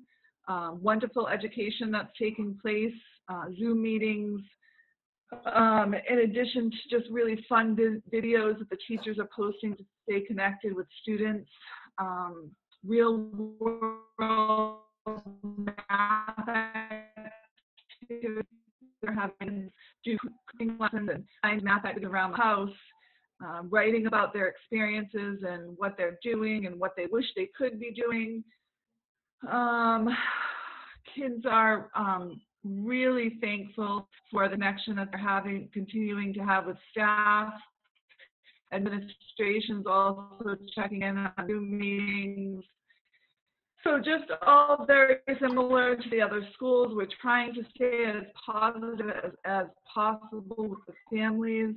Um, we're really excited about um, the routines that we have in place and about keeping the positive things that we have going on. So we're doing, trying to do different things with our kids, calling home, um, different types of awards that we've created uh, for online learning, and the kids and the families seem to like that.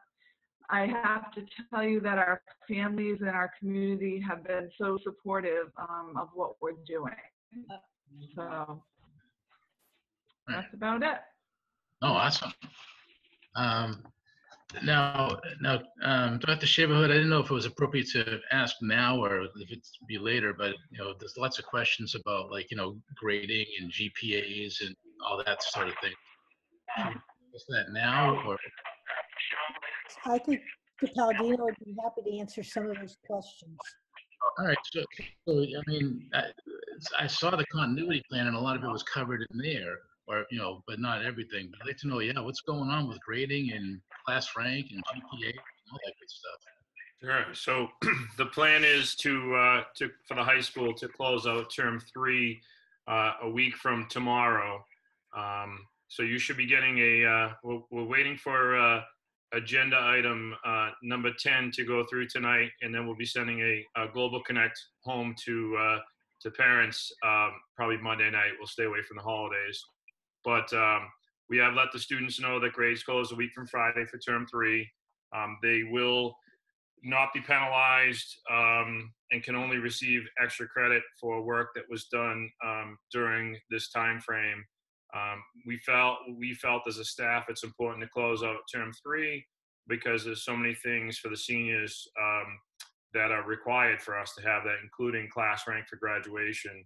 So we're excited to get that done, and then moving forward, uh, work done between a week from Friday and the last day of school will be turned will be counted term for term four, and uh, and this will be again students will only receive uh, credit for the work that they've done, and they won't be penalized for work that they couldn't couldn't do. Uh, we do have uh, about six students that don't have access to the internet. So just like other schools, we're giving them hard copies and they're not being penalized. Um, we've had uh, a great uh, turnout, as I mentioned earlier in my presentation, of students being involved in their classroom. And, uh, and we don't anticipate that this being a, a, negative experience for any of our students as long as they sign in and, and, and check in with their teachers. And so like what happens, I, I was reading the, the grading structure and it's like pass, fail, you know, incomplete. Uh, so if people just don't, if students just don't do the work, they get incomplete? So if a student doesn't do the work, um, we have you know three quarters of the year complete. So we would we have a formula that we would use where we would take we would count term one, two, three in their midterm exam uh, towards their final grade.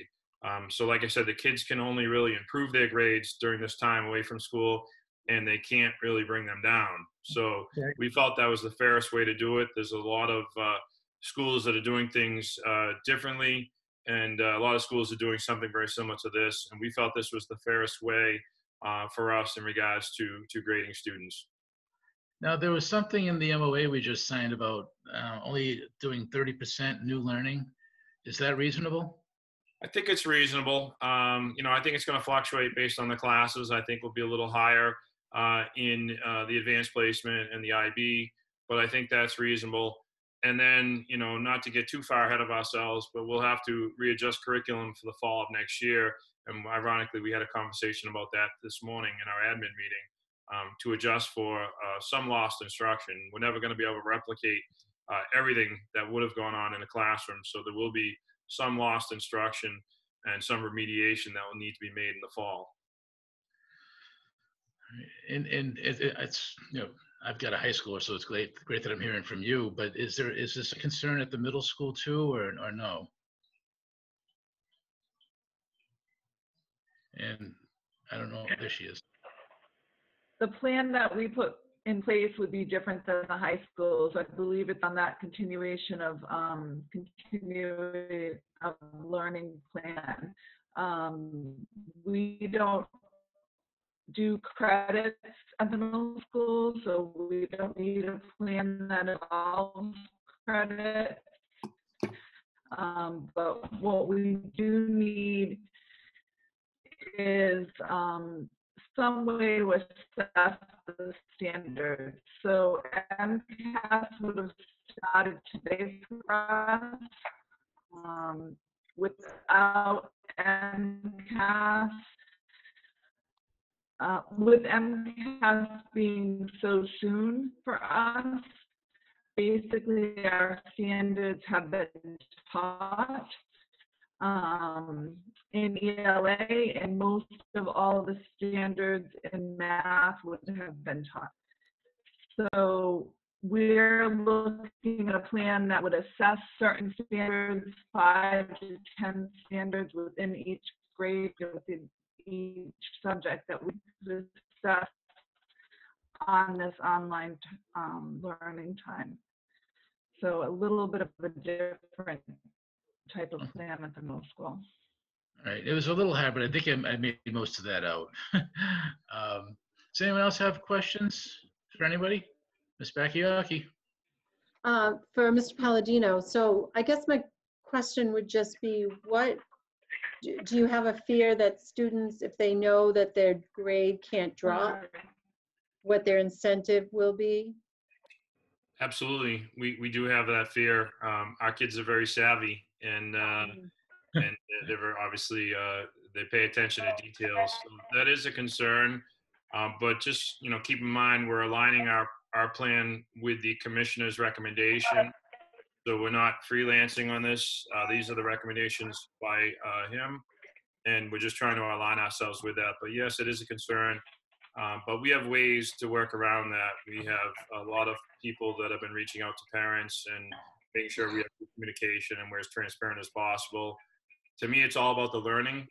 Um, you know, the grades serve as motivation, but to me, um, this is an opportunity for kids to advance their grades um, and, and not be held, you know, liable for, uh, you know, for some poor grades. Everything is going to help them. So there's an opportunity for some kids to make some advancement in their GPA, and um, and I, I'm pretty excited about that. And uh, I'm also excited to be able to continue the learning because uh, there's a lot of schools, like I said, are struggling to keep the learning going, and we're uh, moving forward. No, and hopefully that is just an exception that, you know, you won't have to deal with much. I hope you're right. Yeah, yeah. Um, I just wanted to say thank you too to all the principals for being here tonight to tell us about what's going on. You know, we've heard nothing but great things, like everyone has been saying. Um, I just wish we could, there was a way for us to tell every teacher and every, every person in the district, every worker who's been working so hard, you know, how much they're appreciated and recognize them for that. Um, you know, I think of the teachers who aren't just teaching their own classes, but they have their kids at home now. And, you know, they're either they're school age kids who they're trying to teach to, or they're toddlers who aren't in daycare, but they're still keeping up with their classrooms. And, and I really, you know, so I really appreciate everything that everyone is doing. And it makes you really proud to be from Wareham, um, to hear all these great things. I've talked to a lot of other parents, a lot of other um, teachers from other districts, and they're all saying the same things about Wareham. So good job. Thank you. Awesome. Anyone else for anyone?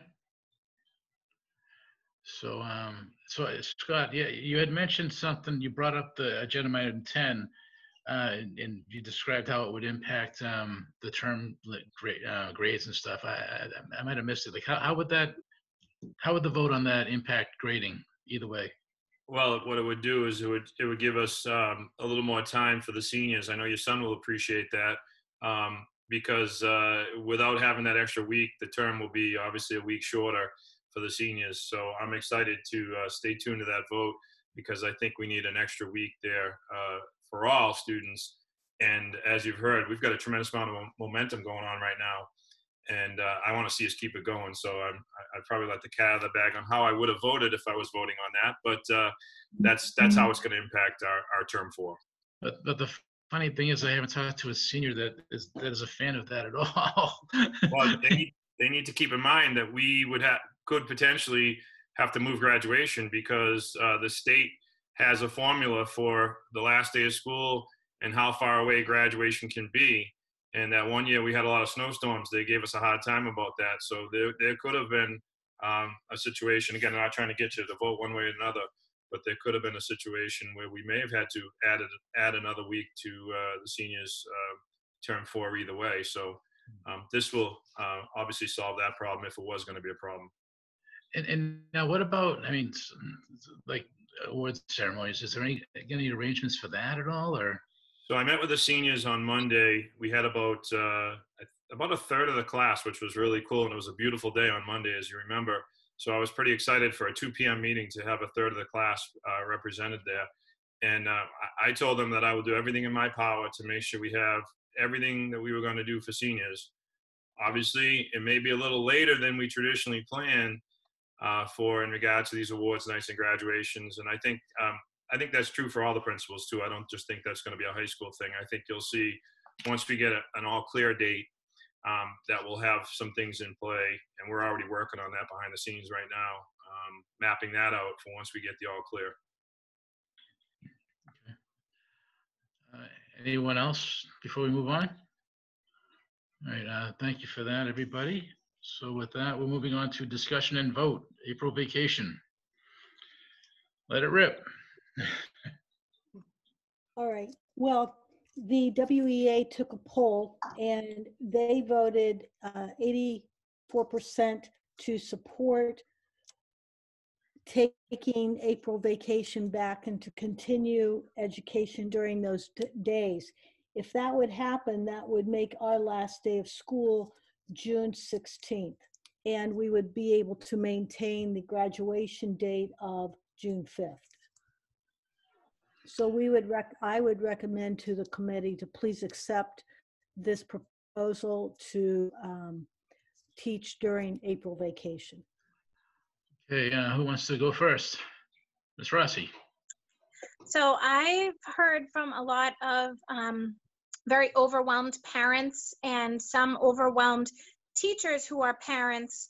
Um, and I think that, you know, they might need the break from this new normal. I think a lot of parents that are still trying to navigate, you know, those workers that are essential without daycare and having multiple age children of multiple needs and different grades and different schools and they're trying to help their students succeed at home um, i think that they're overwhelmed and i think that um, me personally i'd be okay going through it doesn't affect me one way or the other the kids in my house are kind of going on their own clip it's it's fine but all, of all the people that I sort of uh, unofficially surveyed asking their thoughts um, on removing April vacation from teachers and parents. They've all made huge, you know, outpouring of uh, that they need a break, that they need to catch their breath and try to help themselves navigate this new at-home situation. Can I speak to that? All right, so, so I'm gonna go, hold on, Mary, I'm gonna go with uh, Ms. Chandler. Am I, can you hear me? Am I unmuted? You're fine. Okay. Um, I had thought through this and I had asked a few of my parents too about this. And I actually have um, parents that are afraid they're going to be going back to work in June. And I did watch on the news today, I don't know, it was Channel 7 or something, that they're going to try to bring back essential employees more and more as the dip goes down. So my concern with that is that these families that are not working right now will be working as soon as these businesses begin opening which could be in june so it might be an opportunity four days of work um, next week maybe an opportunity these parents have we might be out of school but these parents might be going back to work sooner than we're back at school if that makes sense um, so that's just another consideration to think about and it will be four days um, because of patriots day too so we won't be in session on patriots day Okay. And uh, before, before you, Mary, uh, go ahead, uh, Mr. Palladino. Hey, I was before you. I'm kidding. you- But but they're, ahead, they're entering uh, April though, that's the thing. I'm kidding. Go ahead. Am I good? You're good. So with the holiday, it's it's a three day week. When you when you look at the plan with Friday being a PD day, it's really only three days. Just just for clarification purposes, it's three school days the kids would be engaged for. I just wanted to make sure you had that information. Thank you. I wasn't aware. I forget that the the holidays. I I don't. I work most Monday holidays, so I often forget that the school vacation does tie in with the state holiday, and I was unaware of the the PD day. So thank you. All right, Ms. Morgan. Okay, so I just wanted to get clarification on the, um, so Dr. Shaver Hood, I believe you said that the WEA said that uh, in the um, majority voted that they prefer that it be um, worked through the vacation, is that correct? That is correct. Okay. All right. Mm-hmm. I mean, I, you know, I, myself, just my own thought is I'd like to have that time off because of all the stress and everything, but I mean, if that's what their majority vote is. you know. So it's it's interesting you say that, Mary, because I, you know the, the vote that's a pretty solid vote, 85% of the union. Right. But but I'm I'm being contacted directly by by some that that that no they need that break. It's it's overwhelming for them too. They're they're like you know. Yeah. full- I mean, based on the lot. conversation we've been having, everybody's stepping it up. You know what I mean? They need a break, but but um, not to interrupt. I saw Joyce, you had your hand up. Well, I was going to try to paraphrase what uh, Mr. Palladino said the other day at a high school council meeting. So I won't do that. I'll just ask you to repeat, Scott, what your thoughts were. Uh, you put me on the spot, Joyce. Um, so at the school council meeting, I, I, I said I'm going to try and uh, reiterate it, but basically something to the effect of, if at this point in time we knew we were going to be coming back in June, and I was able to vote, I would vote for giving the students the vacation because I think the contact with the teachers will be so important in June. But the reality of the matter is, we haven't even hit the pinnacle of this situation. we're So if you amortize out the downward slope that they've been talking about, we're already into June at this point in time. So it's it's in my opinion unrealistic that we would be back. So I think you garner the momentum that we have, and it's too bad we couldn't um, speak to these people that are kind of frustrated, like on Monday after a three-day weekend this weekend, and then they'd have a three-day weekend again next weekend with a holiday on Monday. I think they would see things a little bit differently. But again, that's just what I said at school council. Well, thank you. All right, uh, Dr. Shaver Hood. Yes, I pulled up uh, the email where Deanna said they have 85% are in favor of working through April vacation and 15% are against it. Uh, The members felt like families are just getting into the routine and would rather not disrupt this momentum. One of the other considerations that we had was it would be easier for us to work with our students through April vacation and during the third week in June. When we've been through this long haul, I think many people would like to be outside and sitting with our computers at that time in June, I think would be a real struggle for some of our students. Um, So that was, that's directly from the WEA. Okay, uh, Ms. Rossi. So uh, is all of this in, in anticipation that the closure will continue past May 4th as, as declared right now? Is that part of this consideration that we're kind of projecting that this is going to be extended yet again? Um, I think that we would like to be back on May 5th. I'm not sure that's a real, realistic um, possibility. So we're really preparing, you know, we're, we're preparing for a couple different scenarios. We're preparing if we come back, and we're preparing if we don't come back. We're also preparing if we are able to run some summer programming regardless, we do know that our teachers are are stressed, our staff stressed, as well as our families. So that was one reason why we're looking at kind of scaling back 30 to 40 percent of material and looking at going to a four-day week in three of the buildings and the uh, Minot has a pretty good flow, so they're going to stay at the fifth day.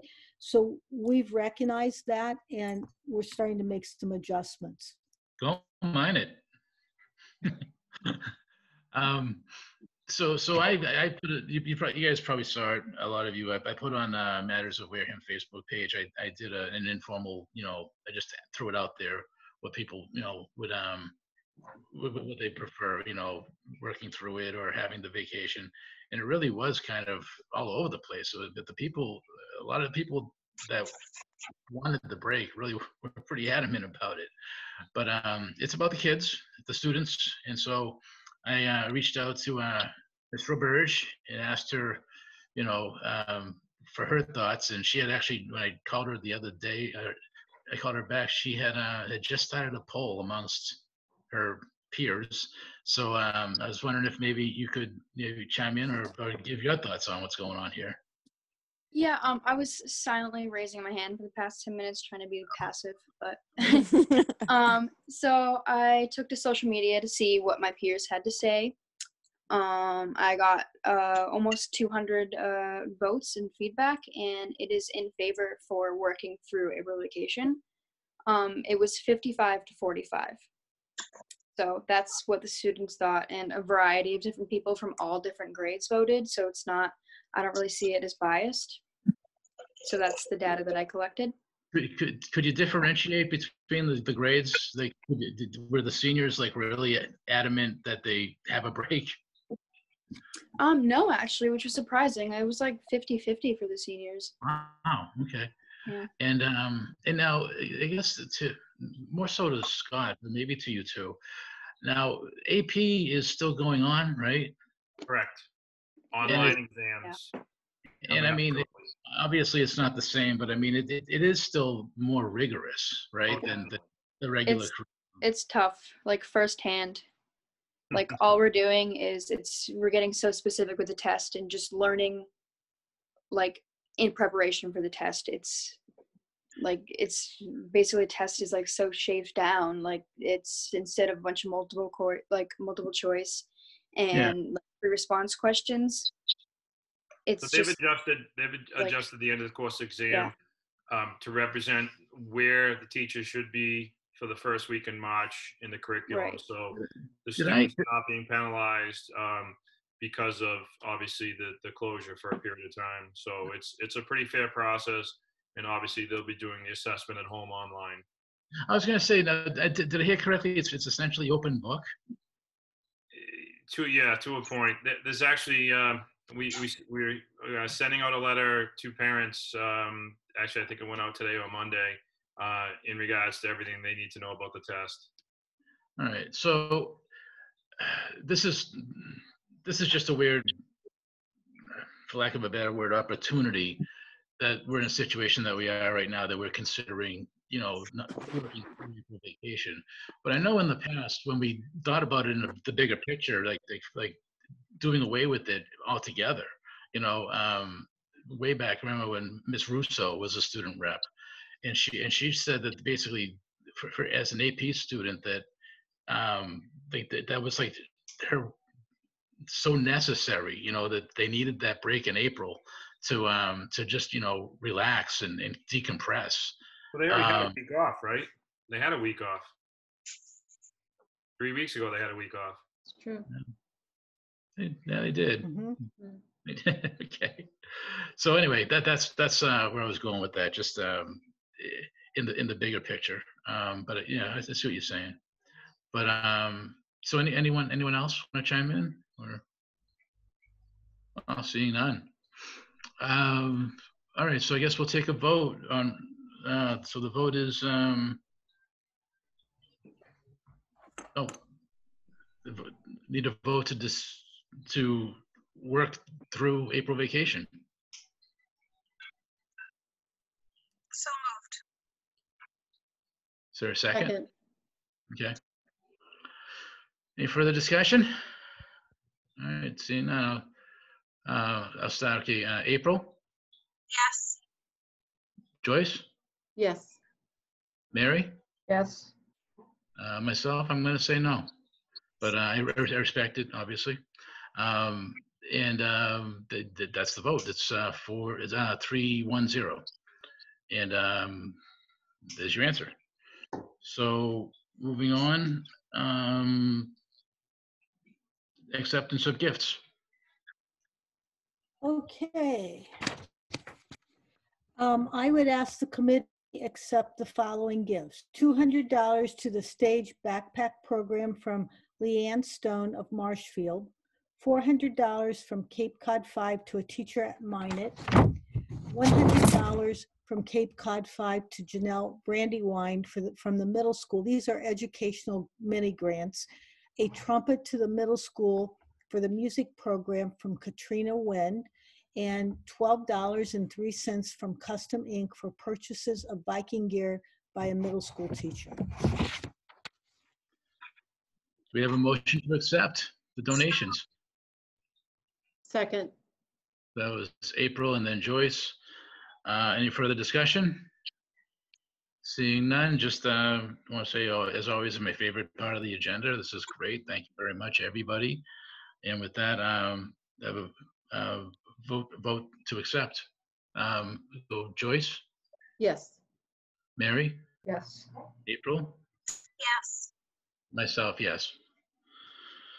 Uh, Report of the superintendent. Yes, uh, t- first you'd received on the um, newsletter the, uh, to approve the bills and payroll, they were listed, so I would ask the committee, please approve what has been listed. Do I have a motion to approve? So moved. Second, So uh, April and then Joyce. And I would just ask, usually, uh, Dr. Shaver, there's add-ons, but this is just taking it as it was presented. Okay. Yes, All right. um, So with that, um, motion to um, vote to approve. Um, April, Yes. Joyce, yes. Mary, Yes. Myself, yes.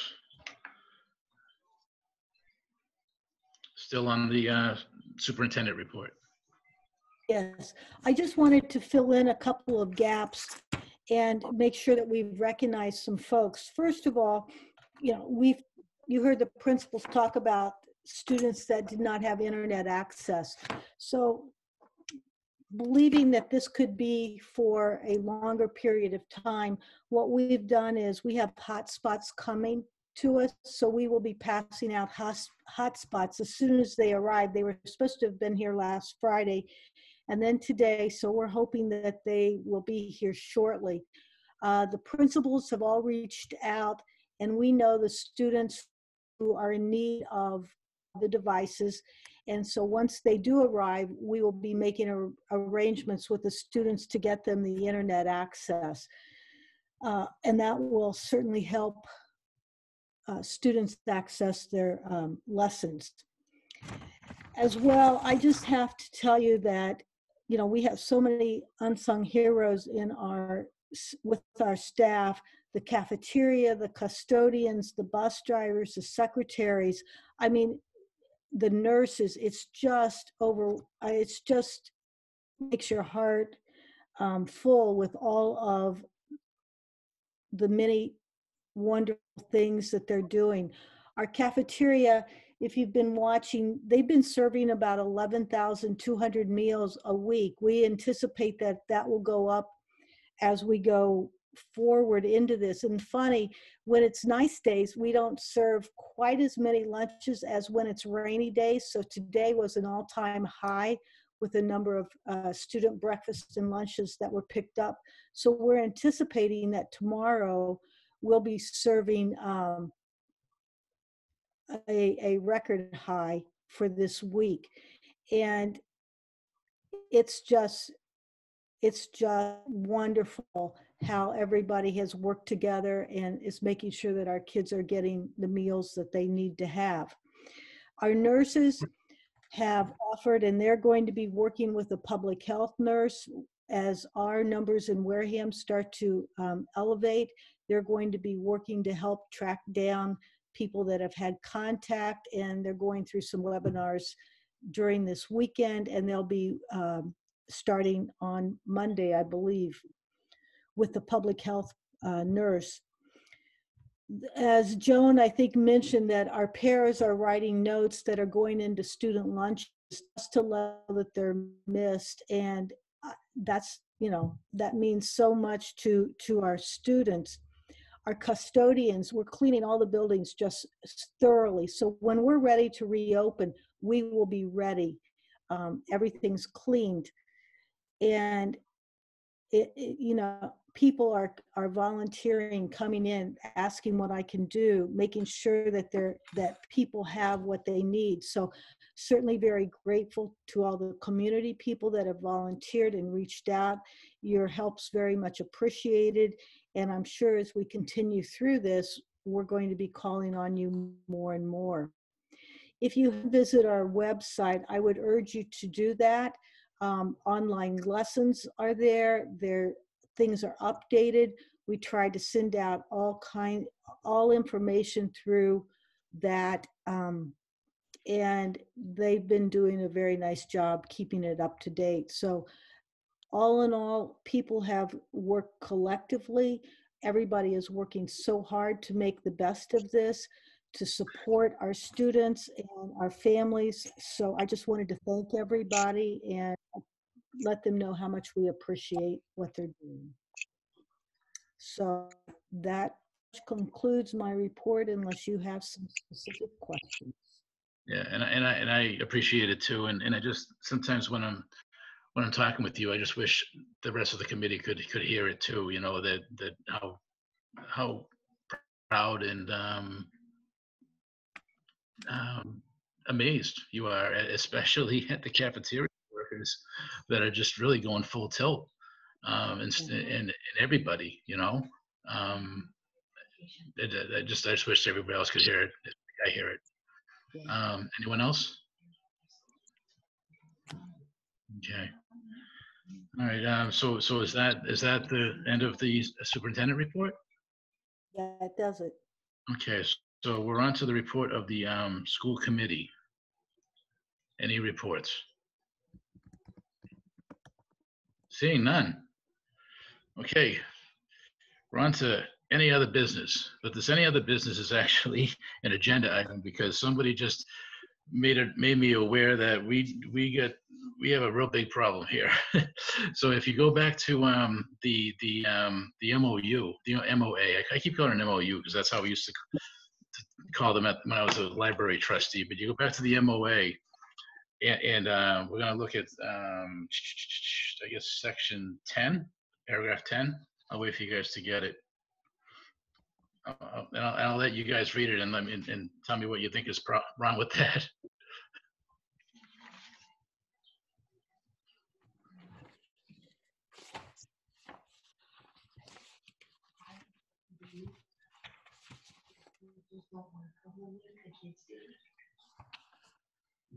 Given the vote we just had on April vacation, So adjusting the dates. yeah, I mean, is it, it- what do we need to do there? Anything? Remove the exception, probably. If, if people understand that, we'll just make the adjustment um, with the association because of the vote. Well, we can, well, I mean, it's our vote. We can re-vote it if, i- i- and, and change it if you want. If you're, if you're comfortable doing that, that's fine. I mean, whatever you, your pleasure is. Um, So, so how, how should that read appropriately? I think you would just strike out April 21st through Thursday, April 23rd, and the rest of it should stay as is.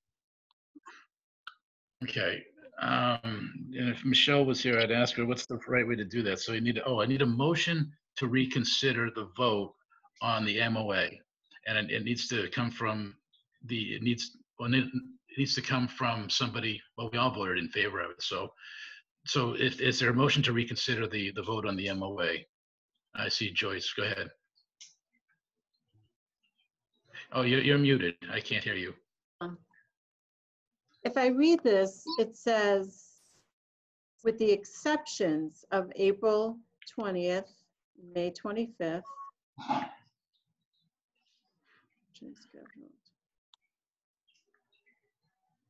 It says Tuesday, April 21st through Thursday, April 23rd will be recognized as workdays. It's Right. excluding those as work days because it says originally scheduled as April vacation. It follows on to the next page. Right, so Tuesday, April 21st through Thursday, April 23rd, including Friday for Minot, originally scheduled as April vacation, will be recognized as work days under the schedule set forth. So isn't that saying that they will be recognized as work days, not vacation? Oh, ma- No, because it says, it says with the exceptions of right before that and list those dates. No, there's a period after May 25th. I had to read it a couple of times. Tuesday, when it says Tuesday, April 21st, that's a new sentence. Oh, yeah, no, I see what you're saying. Yeah, it is, it is saying that, Mike, so it's already in there. so it's Yeah. moved. Okay, Yes. I don't I even, so believe I don't so. think we need to. all right. I- I'm gonna, I'm gonna pause for a sec. I'll be right back.